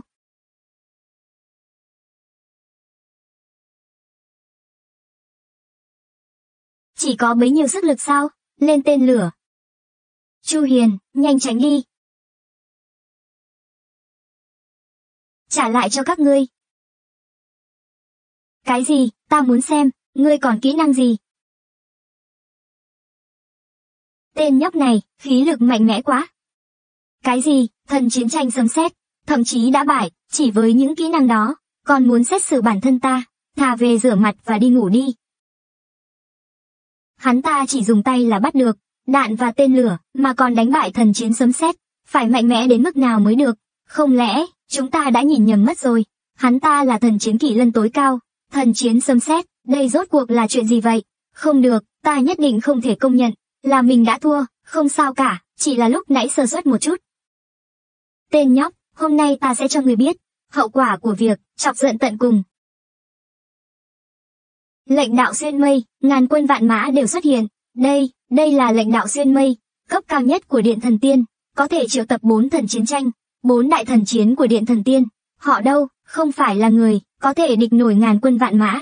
Không ngờ, hôm nay lại tụ họp đầy đủ ở đây. bốn vị chiến thần đích thân tới, quân mã sắp đến, trừ khi là chủ tịch của môn phái Vân ẩn, hoặc chủ nhân của thần kiếm cốc, những kẻ mạnh nhất mới có thể ra tay, nếu không, toàn bộ đại hạ không ai là đối thủ. Chu Hiền, hôm nay ngươi chết chắc rồi, bốn quốc gia hiện đã khơi mào chiến tranh, quân lớn đang tiến đến, đây chính là lúc cần những cao thủ, nhưng ngươi vì một cô gái, đã đưa lực lượng của Điện Thiên Thần vào tình thế khó khăn, sớm xét, chủ nhân nhà ngươi, nếu biết chuyện này, sẽ phạt ngươi như thế nào? Hôm nay nếu không giết ngươi, danh tiếng của Điện Thiên Thần thực sự bị tổn hại, ba đại chiến thần đến. Ngươi chết chắc rồi. Chiến thần rơi đen, thủ vệ miền Nam, giáp đêm âm u, dẹp loạn địch, chiến thần lang tham, tổng chỉ huy phương Tây, phá quân giết địch, quét sạch man di, chiến thần thiên cương, quản lý Bắc Nguyên, chinh chiến chín trời, diệt trừ yêu tà. Thêm vào đó tội diệp chiến thần, năm đại thần chiến, tụ họp tại đây, không biết người mạnh thế nào, cuối cùng cũng chỉ là con đường chết. Biên giới tỉnh Nam Đại nhân chiến tôn, liên quân bốn quốc đã đột phá biên giới của đại hạ. Các chiến binh đang chiến đấu trong máu lửa, nhưng sắp không cầm cự nổi rồi. Không còn cách nào, bây giờ chỉ còn tìm được đại thánh mới có thể bảo vệ đại hạ. Chúng tôi đã tìm được vị trí của đại thánh. Anh ấy bây giờ đang ở tỉnh Nam. Tốt quá, chỉ cần ngài thánh tôn ra tay, nhất định sẽ bình yên vô sự. Nhưng mà, năm chiến thần của Điện Thiên Thần cũng có mặt tại bữa tiệc. Họ với tội danh mưu phản, tuyên bố muốn liên thủ giết chết thánh tôn. Cậu nói gì vậy, những kẻ này mù mắt rồi sao? Đây là muốn kéo, điện thiên thần của ta, cùng xuống mồ, đi, theo ta xuống tỉnh Nam, nhất định phải, nhanh nhất có thể, kịp thời đến dự tiệc. Đúng vậy. Sớm xét, anh bị thương sao, chỉ là mắc mưu mà thôi, không sao cả, tên nhóc, các thần chiến của điện thần tiên, tụ hội tại đây, dù cho ngươi, và lực lượng của tiêu gia, cùng nhau tấn công, cũng sẽ bị bọn ta, dễ dàng nghiền nát, chỉ cần ngươi quỳ xuống bây giờ, và xin lỗi ta, xin lỗi thần chiến diệp, và xin lỗi tất cả gia tộc có mặt ở đây, như vậy, ta có thể nguyên vẹn thi thể, nếu không thì... người sẽ chết không nơi chôn cất. Muốn ta, chết không chỗ chôn cất ư, ngươi chưa đủ tư cách, ngươi nói gì cơ? Chiến thần sấm sét, thế thì thêm vào, tôi chúa tể của Nam Vực, chiến thần được mệnh danh là rơi đen, không đủ, thú vị. Vậy thì, chiến thần lang tham, ngài từng giết chết, ba nghìn kẻ địch, có đủ tư cách không? Còn thiếu xa, nếu đã vậy, thêm ta nữa, trong số bốn đại chiến thần, bất bại vương giả Bắc Nguyên, kẻ yếu dù có tụ tập, cũng chỉ là đám ngài hỗn loạn, không đáng một đòn. Bản thân ta, giết các ngươi. Như giết gà, chỉ cần 800 vòng quay, ngươi có biết bốn chiến thần này, mỗi một vị đều là lãnh đạo vạn quân, thủ vệ một phương không? Ngươi hành xử như thế này, có phải muốn phá hủy trời không? Phá trời, chỉ chúng sao? Chưa xứng. Thần chiến diệp, Tên này đã bị điên, bệnh tình nghiêm trọng, không thuốc chữa, kể từ khi hắn ta muốn chết, thì chúng ta cứ thành toàn cho hắn. Bốn thần chiến cùng ra tay, đây thực sự là cảnh tượng chưa từng thấy. Cuộc hí họa này cũng nên kết thúc, chấm dứt đi thôi, nhận cái chết đi. Tất cả ngừng tay lại. Ta xem ai dám hung hăng, kẻ vô danh tiểu tốt nào đây, ngươi không nhìn xem, những người có mặt ở đây là ai. Triều ca, im miệng, chiến thần diệp, người này là... Không biết sư phụ đến, thiếu xa đón, mong được tha thứ. Xin bái kiến sư phụ, người này là, chủ nhân của điện thiên thần, anh là, sư phụ của bốn chiến thần, đừng gọi ta là sư phụ, ta không có các người này, những con quái vật. Cút ra khỏi đây cho ta. Sư phụ, có chuyện gì quan trọng không? Tại sao ngài, đột ngột đến đây, Chu Hiền, tín đồ vô phương, xin thánh tôn, Trừng phạt, sư phụ, người này là, Lý Thương Huyền, ngươi còn nhớ, nguyên tắc sáng lập của Điện Thần Tiên không? Nhớ, đọc ra đây, nếu như đọc sai một chữ, Điện Thần Tiên của ngươi, sẽ không cần tồn tại nữa. Lý Thương Huyền, người đứng trước mặt ngươi, là chủ nhân của Điện Thần Tiên, nhân vật hàng đầu thế giới, ngươi dám nói xấu hắn, chiến thần Diệp, im miệng cho ta, hôm nay, nếu cô dám nói thêm một lời, bản thân ta, sẽ đuổi cô khỏi Điện Thần Tiên, kiên nhẫn của ta có hạn, ta đọc, chủ nhân đầu tiên của Điện Thần Tiên, từng để lại khẩu quyết, khuyến cáo binh sĩ Điện Thần Tiên của ta, chúng ta, phải với thân phận phàm nhân, mang tâm ý vượt mây xanh, luyện xương sắt cứng cáp, chấn áp ma quỷ, với tinh thần ngay thẳng, bảo vệ vạn thế thiên đình, thân phận phàm nhân, tâm ngữ vượt mây xanh, xương sắt kiên cường, tinh thần ngay thẳng, quả thực là nói mớ. Lý Thương Huyền, nếu như ngươi, và tất cả mọi người trong Điện Thần Tiên, chỉ cần làm được điều gì đã nói, ta sẽ cho phép ngươi, đứng nói chuyện với ta, nhưng bây giờ ngươi, chỉ xứng đáng quỳ xuống. Cô ta, chiến thần Diệp, là thần chiến thứ năm của Điện Thần Tiên, ngôi sao sáng chói, nhưng khi thành công rực rỡ, quên gốc quên nguồn, ân ngần oán trả, hành vi ngu xuẩn và độc ác này chính là ý chí vượt trời của Điện Thần Tiên. Thánh Tôn, trong này là Ngươi thật là tự tin, dám bôi nhọ như vậy, ta là chủ nhân của Điện Thiên Thần, ngươi đã ăn phải tim, gan báo rồi sao, im miệng lại, ta thấy ngươi mới là, ăn phải tim gan báo. Lý Thương Huyền, đây là đệ tử giỏi ngươi dạy ra đấy sao, là một chiến thần của Điện Thiên Thần, phải công bằng, không thiên vị, nhưng hắn, để chiếm được lòng của Diệp Khiên, theo lời dối trá của cô ta, vu cho ta là kẻ phản quốc, thậm chí, mà không hề, có một bằng chứng nào. Gọi họp, danh hiệu quân đội trong mưa đạn, cố gắng áp chế ta, thiên lôi. Ai cho ngươi can đảm, thậm chí còn dám, sử dụng vũ lực, nếu đổi thành một người, không thể tự vệ. Lúc này đã chết dưới tay hắn, còn cơ hội gì, để biện hộ cho mình, ngươi nói cho ta, đây là hiểu lầm.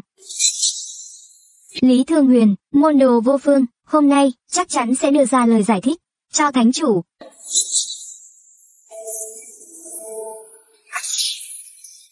Sư phụ, người đánh con sao, đánh người như ngươi, không biết trời cao đất dày, ta thấy ngươi thật sự là, bị mỹ nhân mê hoặc mất lý trí rồi, cứ mãi nói trước mặt ta, về Diệp Quỳnh Nhi, mọi điều tốt đẹp, chắc hẳn ngươi là, muốn có được cô ta. Sư phụ, người, người hiểu lầm rồi, chết tiệt. Quá quen thuộc với tình tiết này, ba người họ, phớt lờ sự thật, không phân biệt đúng sai, lập tức muốn ra tay, nghĩ rằng dựa vào uy danh của chiến thần, dựa vào tấm da hổ này của điện thiên thần, có thể làm gì mình muốn, áp đặt toàn bộ, chỉ với những hành động vô lối của các người, kiêu căng và ngạo mạn, khác gì kẻ cường đạo, kẻ bạo chúa, lưu manh hạ lưu, có gì khác biệt, còn luyện cái khỉ gì, cơ bắp thép, chế ngự cái khỉ gì, thế giới bình yên, các người, không xứng. Mình không phải đang mơ chứ, hắn thực sự đang xét xử bốn chiến thần, điên rồi, thực sự điên rồi. Chửi sướng quá, người đàn ông này, mình quá yêu rồi. Sư tổ, ngài không thể tin, những lời bịa đặt của hắn, năm đó chính họ của tôi bị hắn lừa, mới có hồn ước của kỳ lân này. Hôm nay, chúng tôi tổ chức tiệc chu kỳ lân, chỉ là muốn phá vỡ lời dối trá. Tôi cảm thấy mình làm, không có gì sai, đúng, cái gì kỳ lân ban phước, che chở chúng sinh, tôi từ đầu đến cuối đều không tin. Sư tổ, ngài là chủ nhân của Điện Thiên Thần, là một trong những người tối cao của thiên hạ. Những lời nói hão huyền ấy, ngài cũng không nhất thiết phải tin đâu. Những cái gọi là tội phản quốc kia, từng câu từng chữ đều là sự thật. Nếu không, làm sao hắn có thể biết trước được bốn quốc xâm phạm? Làm sao có thể biết, quân đội Diệp ra, có kẻ phản bội.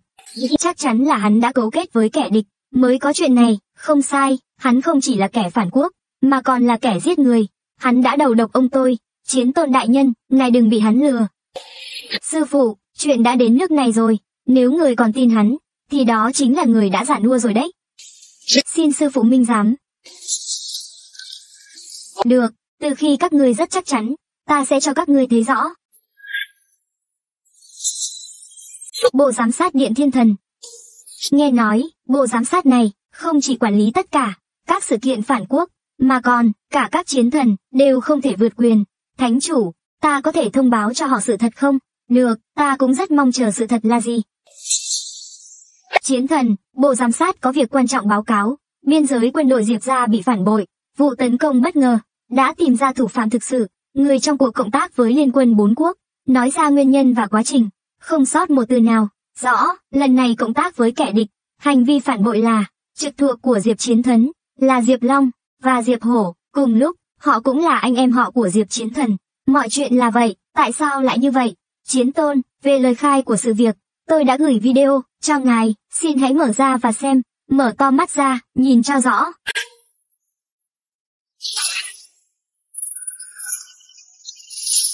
Hai người, là tướng lĩnh của quân đội Diệp gia, nhưng lại nhận tiền của liên quân bốn quốc, bán đứng tin tức của quân ta, dẫn đến biên giới đại hạ bị mất. Tại sao các người lại làm như vậy? Chẳng phải chỉ chết mấy, tay sai bé nhỏ không đáng kể sao, đền bù một chút tiền không phải xong sao, nhưng ta nói cho người biết, hai anh em chúng tôi, là anh em họ của Diệp Chiến Thần, ngươi dám bắt chúng tôi, ta nghĩ ngươi sẽ chết không xa, cô em họ của ta, sắp trở thành chiến thần của Điện Thiên Thần, chỉ cần động tay là có thể nghiền nát các người, cho ngươi hai phút, thả bọn ta ra, sau đó, ngươi tự trói mình lại, trên giường, để giải tỏa cho hai anh em tôi. Nếu không, đợi khi hai anh em chúng tôi ra ngoài, chắc chắn sẽ khiến các người sống không bằng chết. Vô liêm sỉ tột cùng, dẫn xuống. Buông ta ra, ta bảo ngươi, sau này ta sẽ bảo họ giết ngươi, nghe thấy không, không cứu chữa được. Đưa hai kẻ phản bội này, giam vào chỗ sâu nhất của nhà tù vô tận, mãi mãi không được thả ra, điều động tất cả thành viên của bộ giám sát, kiểm tra toàn diện Diệp Quỳnh My, tất cả họ hàng trực hệ, một khi phát hiện người phản bội, loại bỏ hết không tha, tuân lệnh. Sao lại trở thành thế này? Quỳnh My, hai anh họ của cô, là bảo bối của chú và dì cô, hai người họ, không được có bất kỳ sơ suất nào. Chiến tôn đại nhân, xin nghe tôi giải thích. Hai anh họ của tôi, hàng ngày tuân thủ pháp luật, họ chắc chắn sẽ không làm những chuyện phản quốc với địch. Chính là hắn, chắc chắn là hắn, liên kết với nước ngoài để làm chuyện đó. Đúng, chắc chắn rồi, chính xác là hắn. Đủ rồi, tất cả im miệng lại. Đủ rồi, tất cả im miệng lại. Người đâu, bắt cô ta lại cho ta. Các người muốn làm gì thả tôi ra. Chiến tôn đại nhân, dù là hai anh em họ của tôi, có tội, nhưng mẹ tôi, là phụ nữ hiền lành. Bà ấy chắc chắn không biết gì cả. Phụ nữ hiền lành. Người đâu? Kiểm tra, nhìn kỹ cái này, rồi hãy nói.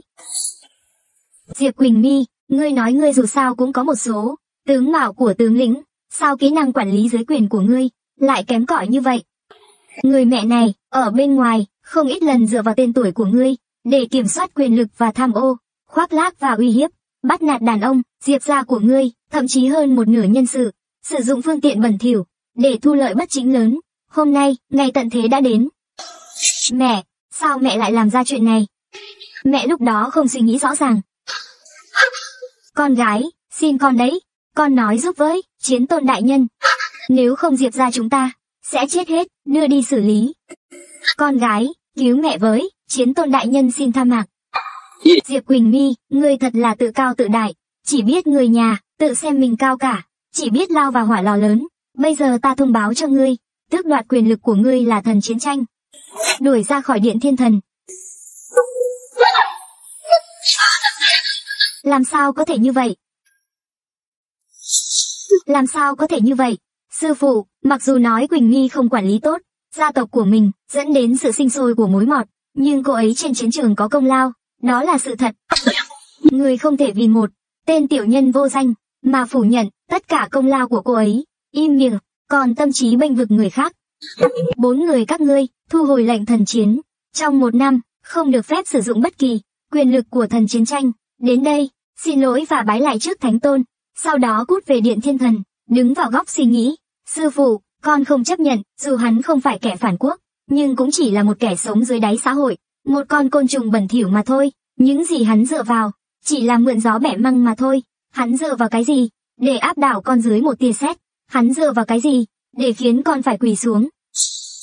Hắc Bạch ta đã chiến đấu suốt đời, gặt hái vô số thành tích. Tất cả đều dưới sự dẫn dắt của sư phụ. Sư phụ bảo ta suy nghĩ trong góc, ta không hề có ý kiến khác. Nhưng đầu gối của ta, sẽ không bao giờ gặp lại vì kẻ yếu đuối. Ta cũng vậy, muốn ta xin lỗi hắn sao? Hắn là cái thá gì? Những kẻ như thế, thiên cương ta giết không hết. Không phải một nghìn thì cũng tám trăm. Hắn dựa vào cái gì? Nổi loạn rồi. Một đám nghịch tử. Các ngươi muốn tức chết bản tôn sao? Sư phụ. Chúng con chỉ là bàn luận về sự việc mà thôi. Tuyệt không có ý xúc phạm người. Ha ha ha. Tiêu Thế Hào, ngươi cười cái gì? Bảy, cười các ngươi đến giờ này. Vẫn còn như vậy, ngốc không thể tả, thực sự là ngu đến. Không thể cứu chữa, vậy ngươi cứ nói xem, hắn có cái gì, làm nên chuyện lớn, đừng nói với ta rằng, hắn là, người thừa kế kỳ lân, những truyền thuyết hư cấu đó, lừa được ngươi và sư phụ ta, nhưng không lừa được ta. Kiến tôn đại nhân, học trò của ngươi, khả năng tìm đến cái chết, thực sự làm ta phải thán phục. Bây giờ ta, lại càng tò mò hơn, họ có thể kiên trì đến bao giờ. Thánh tôn, Lý Thương Huyền, các tín đồ bất hiếu, hôm nay, ta muốn tự mình, làm sạch giáo phái, không cần lui xuống. Ta cũng rất tò mò, họ lấy tự tin ở đâu? Ta có thể kiên trì bao lâu, kể từ khi ngươi miêu tả mình, một cách huyền bí, ít nhất cũng là, một cao thủ vô địch trên thế gian này. Nếu ngươi có thể nhận lấy cú đấm này của ta, hắc bạch ta, hôm nay sẽ sẵn lòng quỳ gối. hắc bạch biết mình đang nói gì không? Nếu con còn không có chút tự tin này, vậy những năm tháng trên chiến trường đã vô ích, ta sẵn lòng đặt cược, chỉ cần hắn có thể nhận một cú đấm từ Hắc Bạch, thì ta ngay lập tức quỳ xuống xin lỗi, ta cũng đặt cược. Thiên cương ta cũng vậy. Cuộc cá cược của chúng tôi vẫn là không dám nhận sao. Đừng lo, chỉ cần bốn đại chiến thần có thể nhân cơ hội này tiêu diệt hắn. Phía chiến tôn kia không còn là vấn đề. Ngươi không phải vừa mới nói mình giỏi lắm sao? Sao, một cú đấm của Hắc Bạch cũng không tránh nổi. Được. Cuộc cá cược này, ta nhận lời, nhưng ta lười, phí thời gian với các ngươi. Các ngươi, cùng lên. Nhưng, ta lười phí thời gian, với các ngươi, các ngươi, cùng lên, kiêu ngạo, đây là tự tìm cái chết. Quyền rơi đen nút trăng. Kinh vàng bách phá gió. Khiên thần kinh thiên tuyệt kỹ. Nghe lệnh. Đao thấp ngâm. Đạo lý ba nghìn.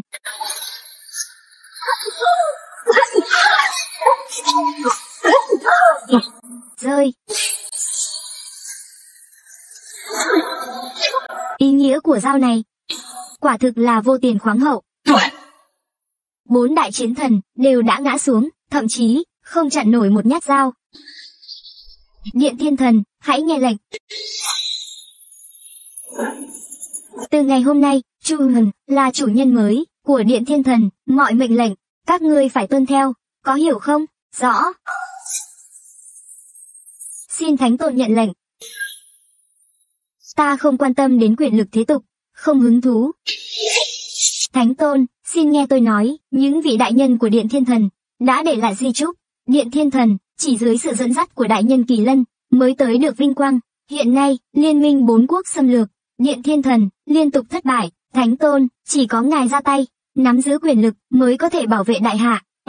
Thánh Tôn, xin hãy vì dân chúng vô tội, xin ngài nhận lệnh. Thôi được, vì những sinh linh của thế gian này, ta sẽ phá lệ, hành động một lần, bái kiến, Thánh Tôn. Bái kiến Thánh Tôn. Không thể nào. Điều này không thể. Tiêu gia nghe lệnh, từ hôm nay, tiêu gia chính thức phụng sự ngài Chu Hiền, làm chúa tể tối cao của dòng họ chúng ta, hưởng mọi tài nguyên của tiêu gia, mọi nguồn lực, qua các thế hệ, tiêu gia, đã nghe rõ chưa? Rõ, đây là, tiêu gia, bái kiến thánh tôn. Các ngươi thật là, đứng dậy đi, cảm ơn thánh tôn, chiến tôn đại nhân, những kẻ đã xúc phạm. Thánh tôn, có phải, đã đến lúc phải thanh toán. Tiêu lão gia, nói có lý, chiến thần điện, tất cả các ngươi, bắt lấy bọn họ, kẻ phản loạn. Kiếm khách tiêu ra, rõ, bắt hết lũ không biết điều này lại cho ta. Tất cả bị bắt. Sao vậy, tiêu gia và chiến thần điện, liên thủ chống lại chúng ta, làm sao chống trả, đều là đường cùng, Quỳnh mi lục triều, bây giờ chúng ta, phải làm sao đây, tôi cũng không biết nữa. Không phải, lúc đầu nói muốn hủy hôn, chính là người các ngươi, muốn hủy, bây giờ thành một mớ bỏng bong, các ngươi nên chủ động ra mặt, giải quyết vấn đề, đúng vậy, nếu biết trước, Chu Hiền là thánh tôn, vị thánh của chiến thần đi điện, và người của tiêu gia, ta sẽ không hủy hôn, dù thế nào, không thể hủy hôn, tất cả tại các ngươi, đúng vậy, chính các ngươi phải chịu trách nhiệm, các ngươi, làm chúng tôi khổ sở quá, các ngươi ấy, lúc ta nói muốn hủy hôn trước đây, các ngươi đã hoàn toàn đồng ý, thế mà, bây giờ lại đổ cho ta, tôi cũng không muốn mọi chuyện như thế này, dù sao đi nữa, là các ngươi muốn hủy hôn, chết thì chính hai người chết, tôi đâu có liên quan, chết, vừa rồi các ngươi, còn cùng chúng tôi, giết kỳ lân đấy thôi, nhìn vào Chu Hiền, tính cách trả thù của hắn, các ngươi nghĩ, hắn sẽ bỏ qua cho các ngươi sao, ngươi. Được rồi, tất cả các ngươi im lặng đi, các ngươi có biết không, con gái ta là nữ thánh của tôn giáo Vân ẩn. Tiêu gia, và chiến thần điện liên thủ, thì sao chứ, thế tục hồng trần, trước mặt ẩn thế tông môn, không đáng một đòn. Thật là khoác lác, chính bản thân ngươi cũng không biết, ngươi sẽ đối mặt với thứ gì. Hai người các ngươi, hãy ra tay đi, ta muốn xem, hôm nay ai dám ra tay.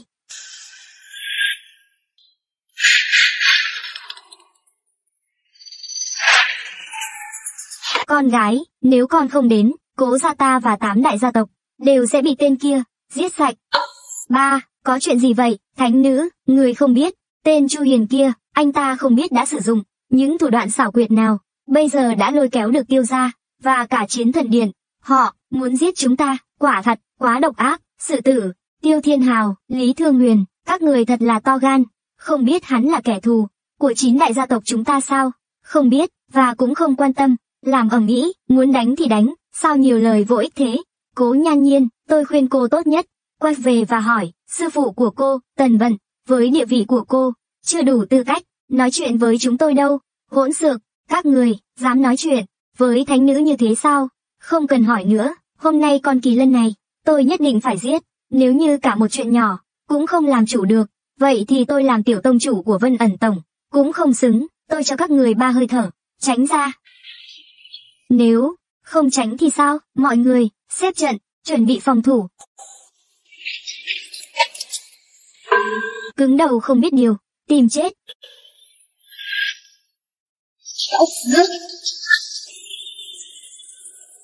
Phái ảnh vân, một trong ba bảo vật đứng đầu, Chu Thiên Kiếm, không ngờ, tài năng tu đạo của nữ nhân này, cao đến vậy, có thể, được Chu Thiên Kiếm công nhận, kiếm khí chấn thiên, mọi tà ma đều phải cúi đầu. Không tồi, có thể sử dụng được, ba phần sức mạnh của Chu Thiên Kiếm, tài năng của ngươi, có thể coi là xuất sắc, đừng cố tỏ ra bình tĩnh nữa. Chiến thần điện mà ngươi dựa vào, và tiêu ra, trước tay con gái ta, không thể trụ được một hiệp, bây giờ thì, có lẽ ngươi đã sợ, đến muốn chết rồi, một huyền thanh, bây giờ, Chu Kỳ Lân chỉ còn, một bước cuối cùng, ngươi bây giờ quay đầu là bờ, vẫn còn kịp, đem con, Kỳ Lân cuối cùng này, chém đi, ngục ra ngươi, vẫn sẽ là một trong chín tộc, ta, là Kỳ Lân cuối cùng, tuyệt không thể chém, nếu không, hậu quả rất nghiêm trọng. Sẽ xảy ra chuyện gì? Rất nghiêm trọng à, thiên kỳ không thể tiết lộ, em chỉ cần biết, việc này tuyệt không thể làm. Ngọc Quyền Thanh à, cô thật sự là, ngốc nghếch, anh ta nói gì cô cũng tin. Cái bức tượng kỳ lân này, chém thì đã chém, lẽ nào, đại hạ còn có thể, bị diệt vong sao, cô xem tình hình hiện tại, hãy mau chém đi. Không, tôi tin những gì Chu Hiền nói, con kỳ lân này, tuyệt đối không thể chém. Mộc quyền thanh. A mẹ, đứa con gái bất hiếu, hôm nay nếu ngươi không giết con kỳ lân đó, ta với ngươi cắt đứt quan hệ cha con. Cha, mẹ, nữ thánh kính mến, hôm nay cho phép tôi dạy dỗ đứa con gái bất hiếu này, cho các người hai phút, nếu không thuyết phục được cô ấy, đừng trách ta không để mặt mũi. Vâng. Nguyễn Thanh, đồ vô dụng này, ta thường dạy dỗ cô như thế nào? Chín đại gia tộc, vinh cùng vinh, tổn cùng tổn, người cứ muốn làm cái gì đặc biệt sao? Nhưng bố, ông nội không chỉ một lần nhấn mạnh, hôn ước này không thể hủy, kỳ lân càng không thể giết. Mê muội, ông nội người già rồi mê muội, ngươi cũng không hiểu sao? Phải, con gái. Việc con làm như vậy, chỉ sẽ đưa Ngục Gia ta vào con đường diệt vong. Hơn nữa, một người, hoàn toàn vô dụng như thế, con bảo vệ hắn làm gì? Con đã nghe rõ chưa? Không mau, giết con kỳ lân kia. Ba mẹ, con xin lỗi, hôn nhân này, con không thể từ bỏ. Kỳ lân. Càng không thể giết. Tai họa, Ngục Gia ta, làm sao lại có thể có? Có một tai họa như ngươi. Tốt, vậy thì, ta sẽ để các ngươi, trở thành đôi uyên ương lưu lạc.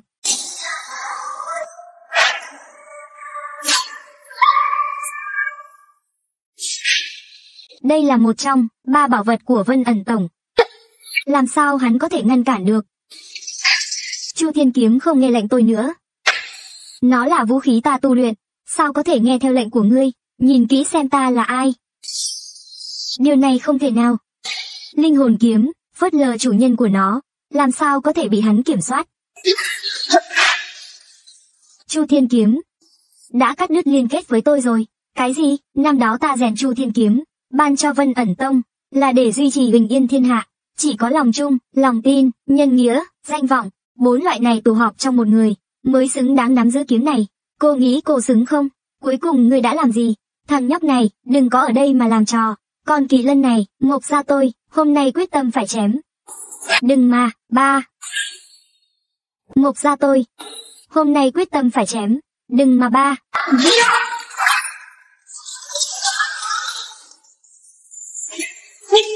Rắc rối rồi, vừa rồi, tôi chỉ chăm chú nhìn Thánh Tôn. Quên mất phái người, theo dõi lão già này. Chu Hiền ơi, Chu Hiền, dù ngươi có dùng bao nhiêu mưu mèo, cũng không có ích gì. Cái đầu của kỳ lân này, cuối cùng cũng bị chúng ta chặt đứt. Từ đây trở đi, ràng buộc của chúng ta, chín đại gia tộc, cái gọi là vận mệnh, tan thành mây khói, không còn tồn tại, ta không quan tâm ngươi dùng cách nào, cướp đi Chu Thiên Kiếm, không quan tâm ngươi đã làm gì, cắt đứt liên kết giữa ta và kiếm, nhưng tông chủ của ẩn vân tông, tần vận, hôm nay sẽ xuất hiện, nếu ngươi không nói ra sự thật, và chấm dứt kịp thời, thì điều chờ đợi ngươi, sẽ là cơn thịnh nộ trời giáng từ bà ấy. Một đám ngu dốt, bây giờ đã hoàn toàn khiến kỳ Lân nổi giận, tất cả các ngươi đều phải chết, đang đùa cái gì thế? Chúng ta là con gái của trời, làm sao có thể?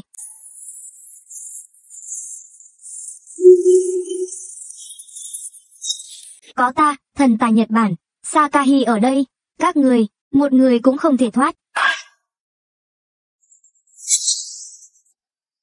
Rối rồi.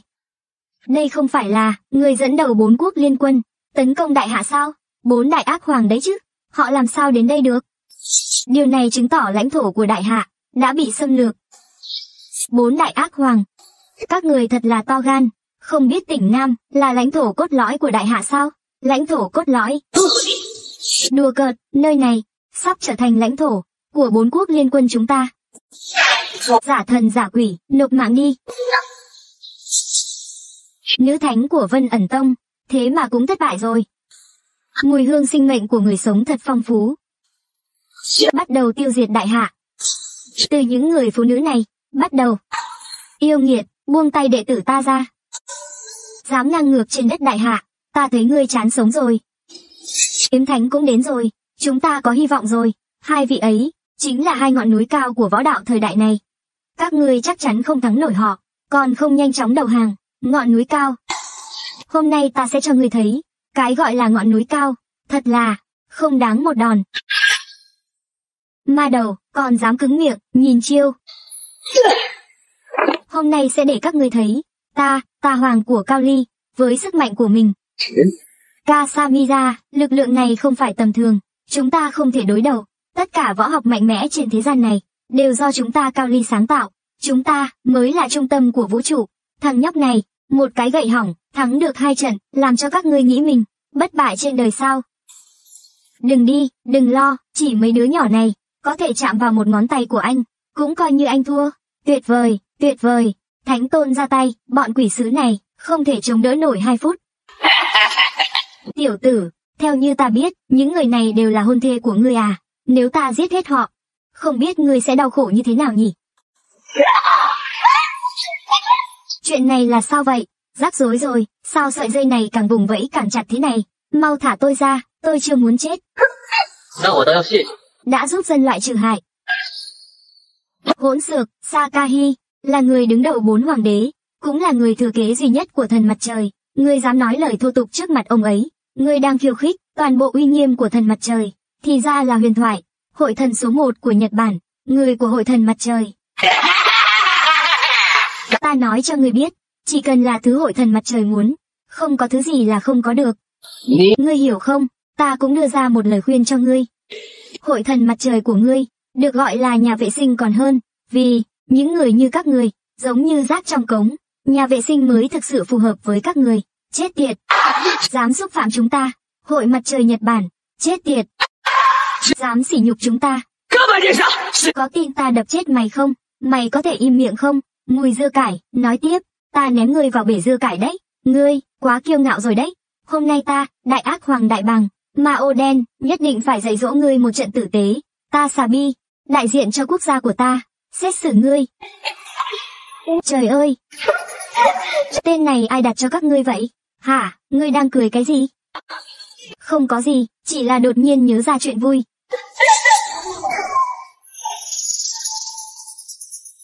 Sức mạnh của họ đều rất mạnh, anh thực sự tự tin chứ? Tất cả mọi người, đều nghe rõ cho ta. Đại hạ, sẽ sớm trở thành, mảnh đất dưới chân của liên quân bốn quốc gia. Dù các ngươi có chống cự thế nào, cũng vô ích, các ngươi tốt nhất nên phục tùng chúng ta, nếu không, các ngươi sẽ chết không chỗ chôn. Còn về phần ngươi, người phụ nữ đẹp của đại hạ, nhan sắc của ngươi cũng không tồi, ta cho ngươi một cơ hội, làm nô lệ bên dưới chân ta, chỉ cần ngươi phục vụ ta tốt, ta đảm bảo, sẽ không bạc đãi ngươi. Ngươi nói gì? Chỉ cần các ngươi phục tùng ta, ta sẽ trả cho các ngươi gấp 10, gấp trăm lần. Cùng ta, chinh phục thiên hạ. Ta cho các ngươi 10 giây, sau 10 giây, nếu vẫn không phục tùng ta, tất cả sẽ giết không thương tiếc. Sakahi đại nhân, chúng tôi, tám tộc của tỉnh Nam, muốn phục tùng ngài, tôi cũng muốn gia nhập. Theo cùng mọi người, chinh phục thiên hạ, tôi cũng muốn gia nhập, ây ra. Các ngươi ở đại hạ có câu cổ ngữ, gọi là biết thời cuộc mới là người khôn ngoan, các ngươi, đều là những người khôn ngoan. Diệp Quỳnh My Ngươi có biết mình đang làm gì không? Cố nhan nhiên. Thật nhục nhã khi ta ủng hộ ngươi. Không ngờ, ngươi lại nhẫn tâm và vô tình như vậy. Không bằng một con thú. Qua ao đời nay, ngươi có thể làm nên đại sự. Đều là những người không câu nệ tiểu tiết. Đúng đúng, bây giờ đại hạ quốc sắp sụp đổ. Bốn đại hoàng tà sẽ trở thành chủ nhân của thế giới mới. Chúng ta chỉ là, theo dòng chảy mà đi, tìm kiếm chủ nhân mới. Phải, như các ngươi, những thế lực yếu ớt, còn cứng đầu cứng cổ, chỉ có thể xuống địa ngục. Các ngươi, còn đứng đó làm gì? Nhanh chóng qua đây. Đợi xuống địa ngục cùng họ à? Thật là tồi tệ hơn cả con cún. Đáng xấu hổ cho dân của đại hạ. Sakahi đại nhân, ngài cảm thấy, tôi biểu hiện thế nào? Cô, rất là được đấy, đợi khi ta thống nhất đại hạ. Gia đình các người, sẽ là người đứng đầu chăm họ. Vẫn còn, bạch gia tôi nữa, vương gia đình tôi cũng sẵn lòng. Yên tâm mà. Chỉ cần các người nghe lời, biểu hiện tốt, sẽ không thiếu phần thưởng cho các người. Ông Bắc Trang, nhanh tay, tiêu diệt những kẻ châu chấu của đại hạ này đi. Vâng. Người đại hạ đáng thương. Tiếp theo, các ngươi sẽ được chứng kiến, thế nào là kinh hoàng thực sự. Bao nhiêu năm qua, chưa từng có ai có thể chịu đựng được một kiếm của ông Bắc Trang. Các ngươi, chết chắc rồi. Anh thực sự tự tin như vậy sao? Không quan tâm hắn là ai, dù là cao thủ hay đại cao thủ, bản tôn. Chỉ cần chớp mắt một cái là có thể diệt. Xem này.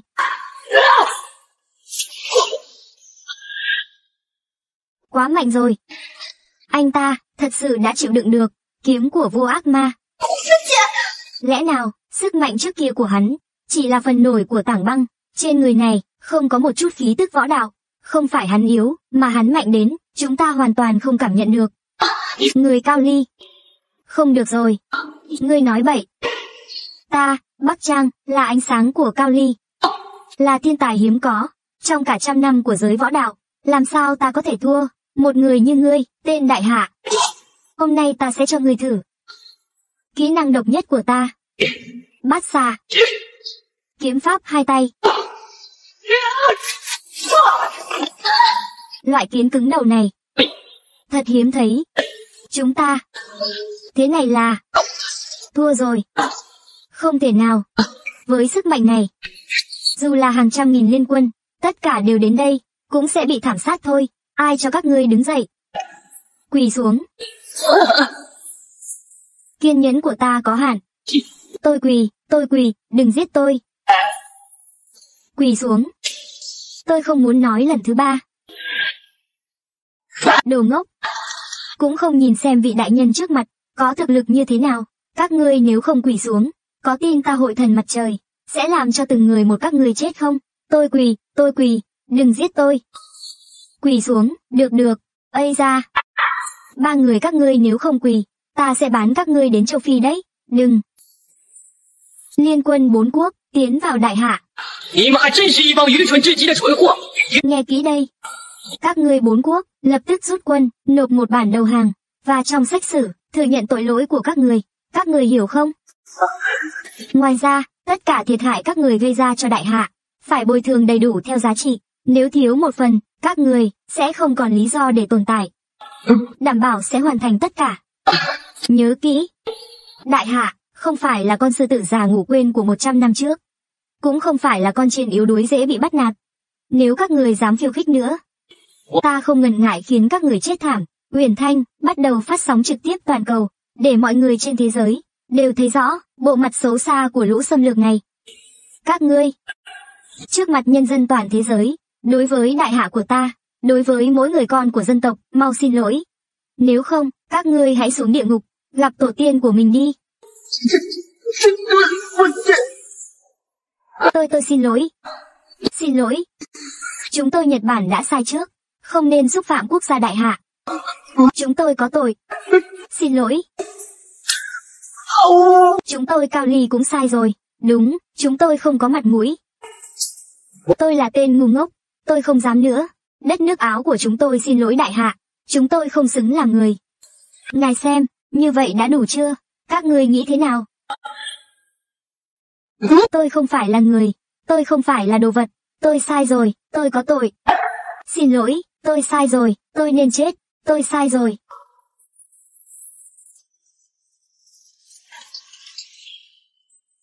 Các ngươi tám đại tộc, quên ơn phụ nghĩa, có tội phản quốc, tâm địa độc ác, trời đất không dung. Tiếp theo, ta sẽ đưa các ngươi đến quân pháp đại hạ, để các ngươi nhận sự trừng phạt của pháp luật. Những gì tổ tiên các ngươi tạo dựng, cũng sẽ kết thúc bởi chính các ngươi.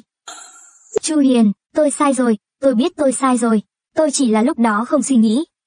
Tôi xin anh, hãy cho tôi một cơ hội nữa được không?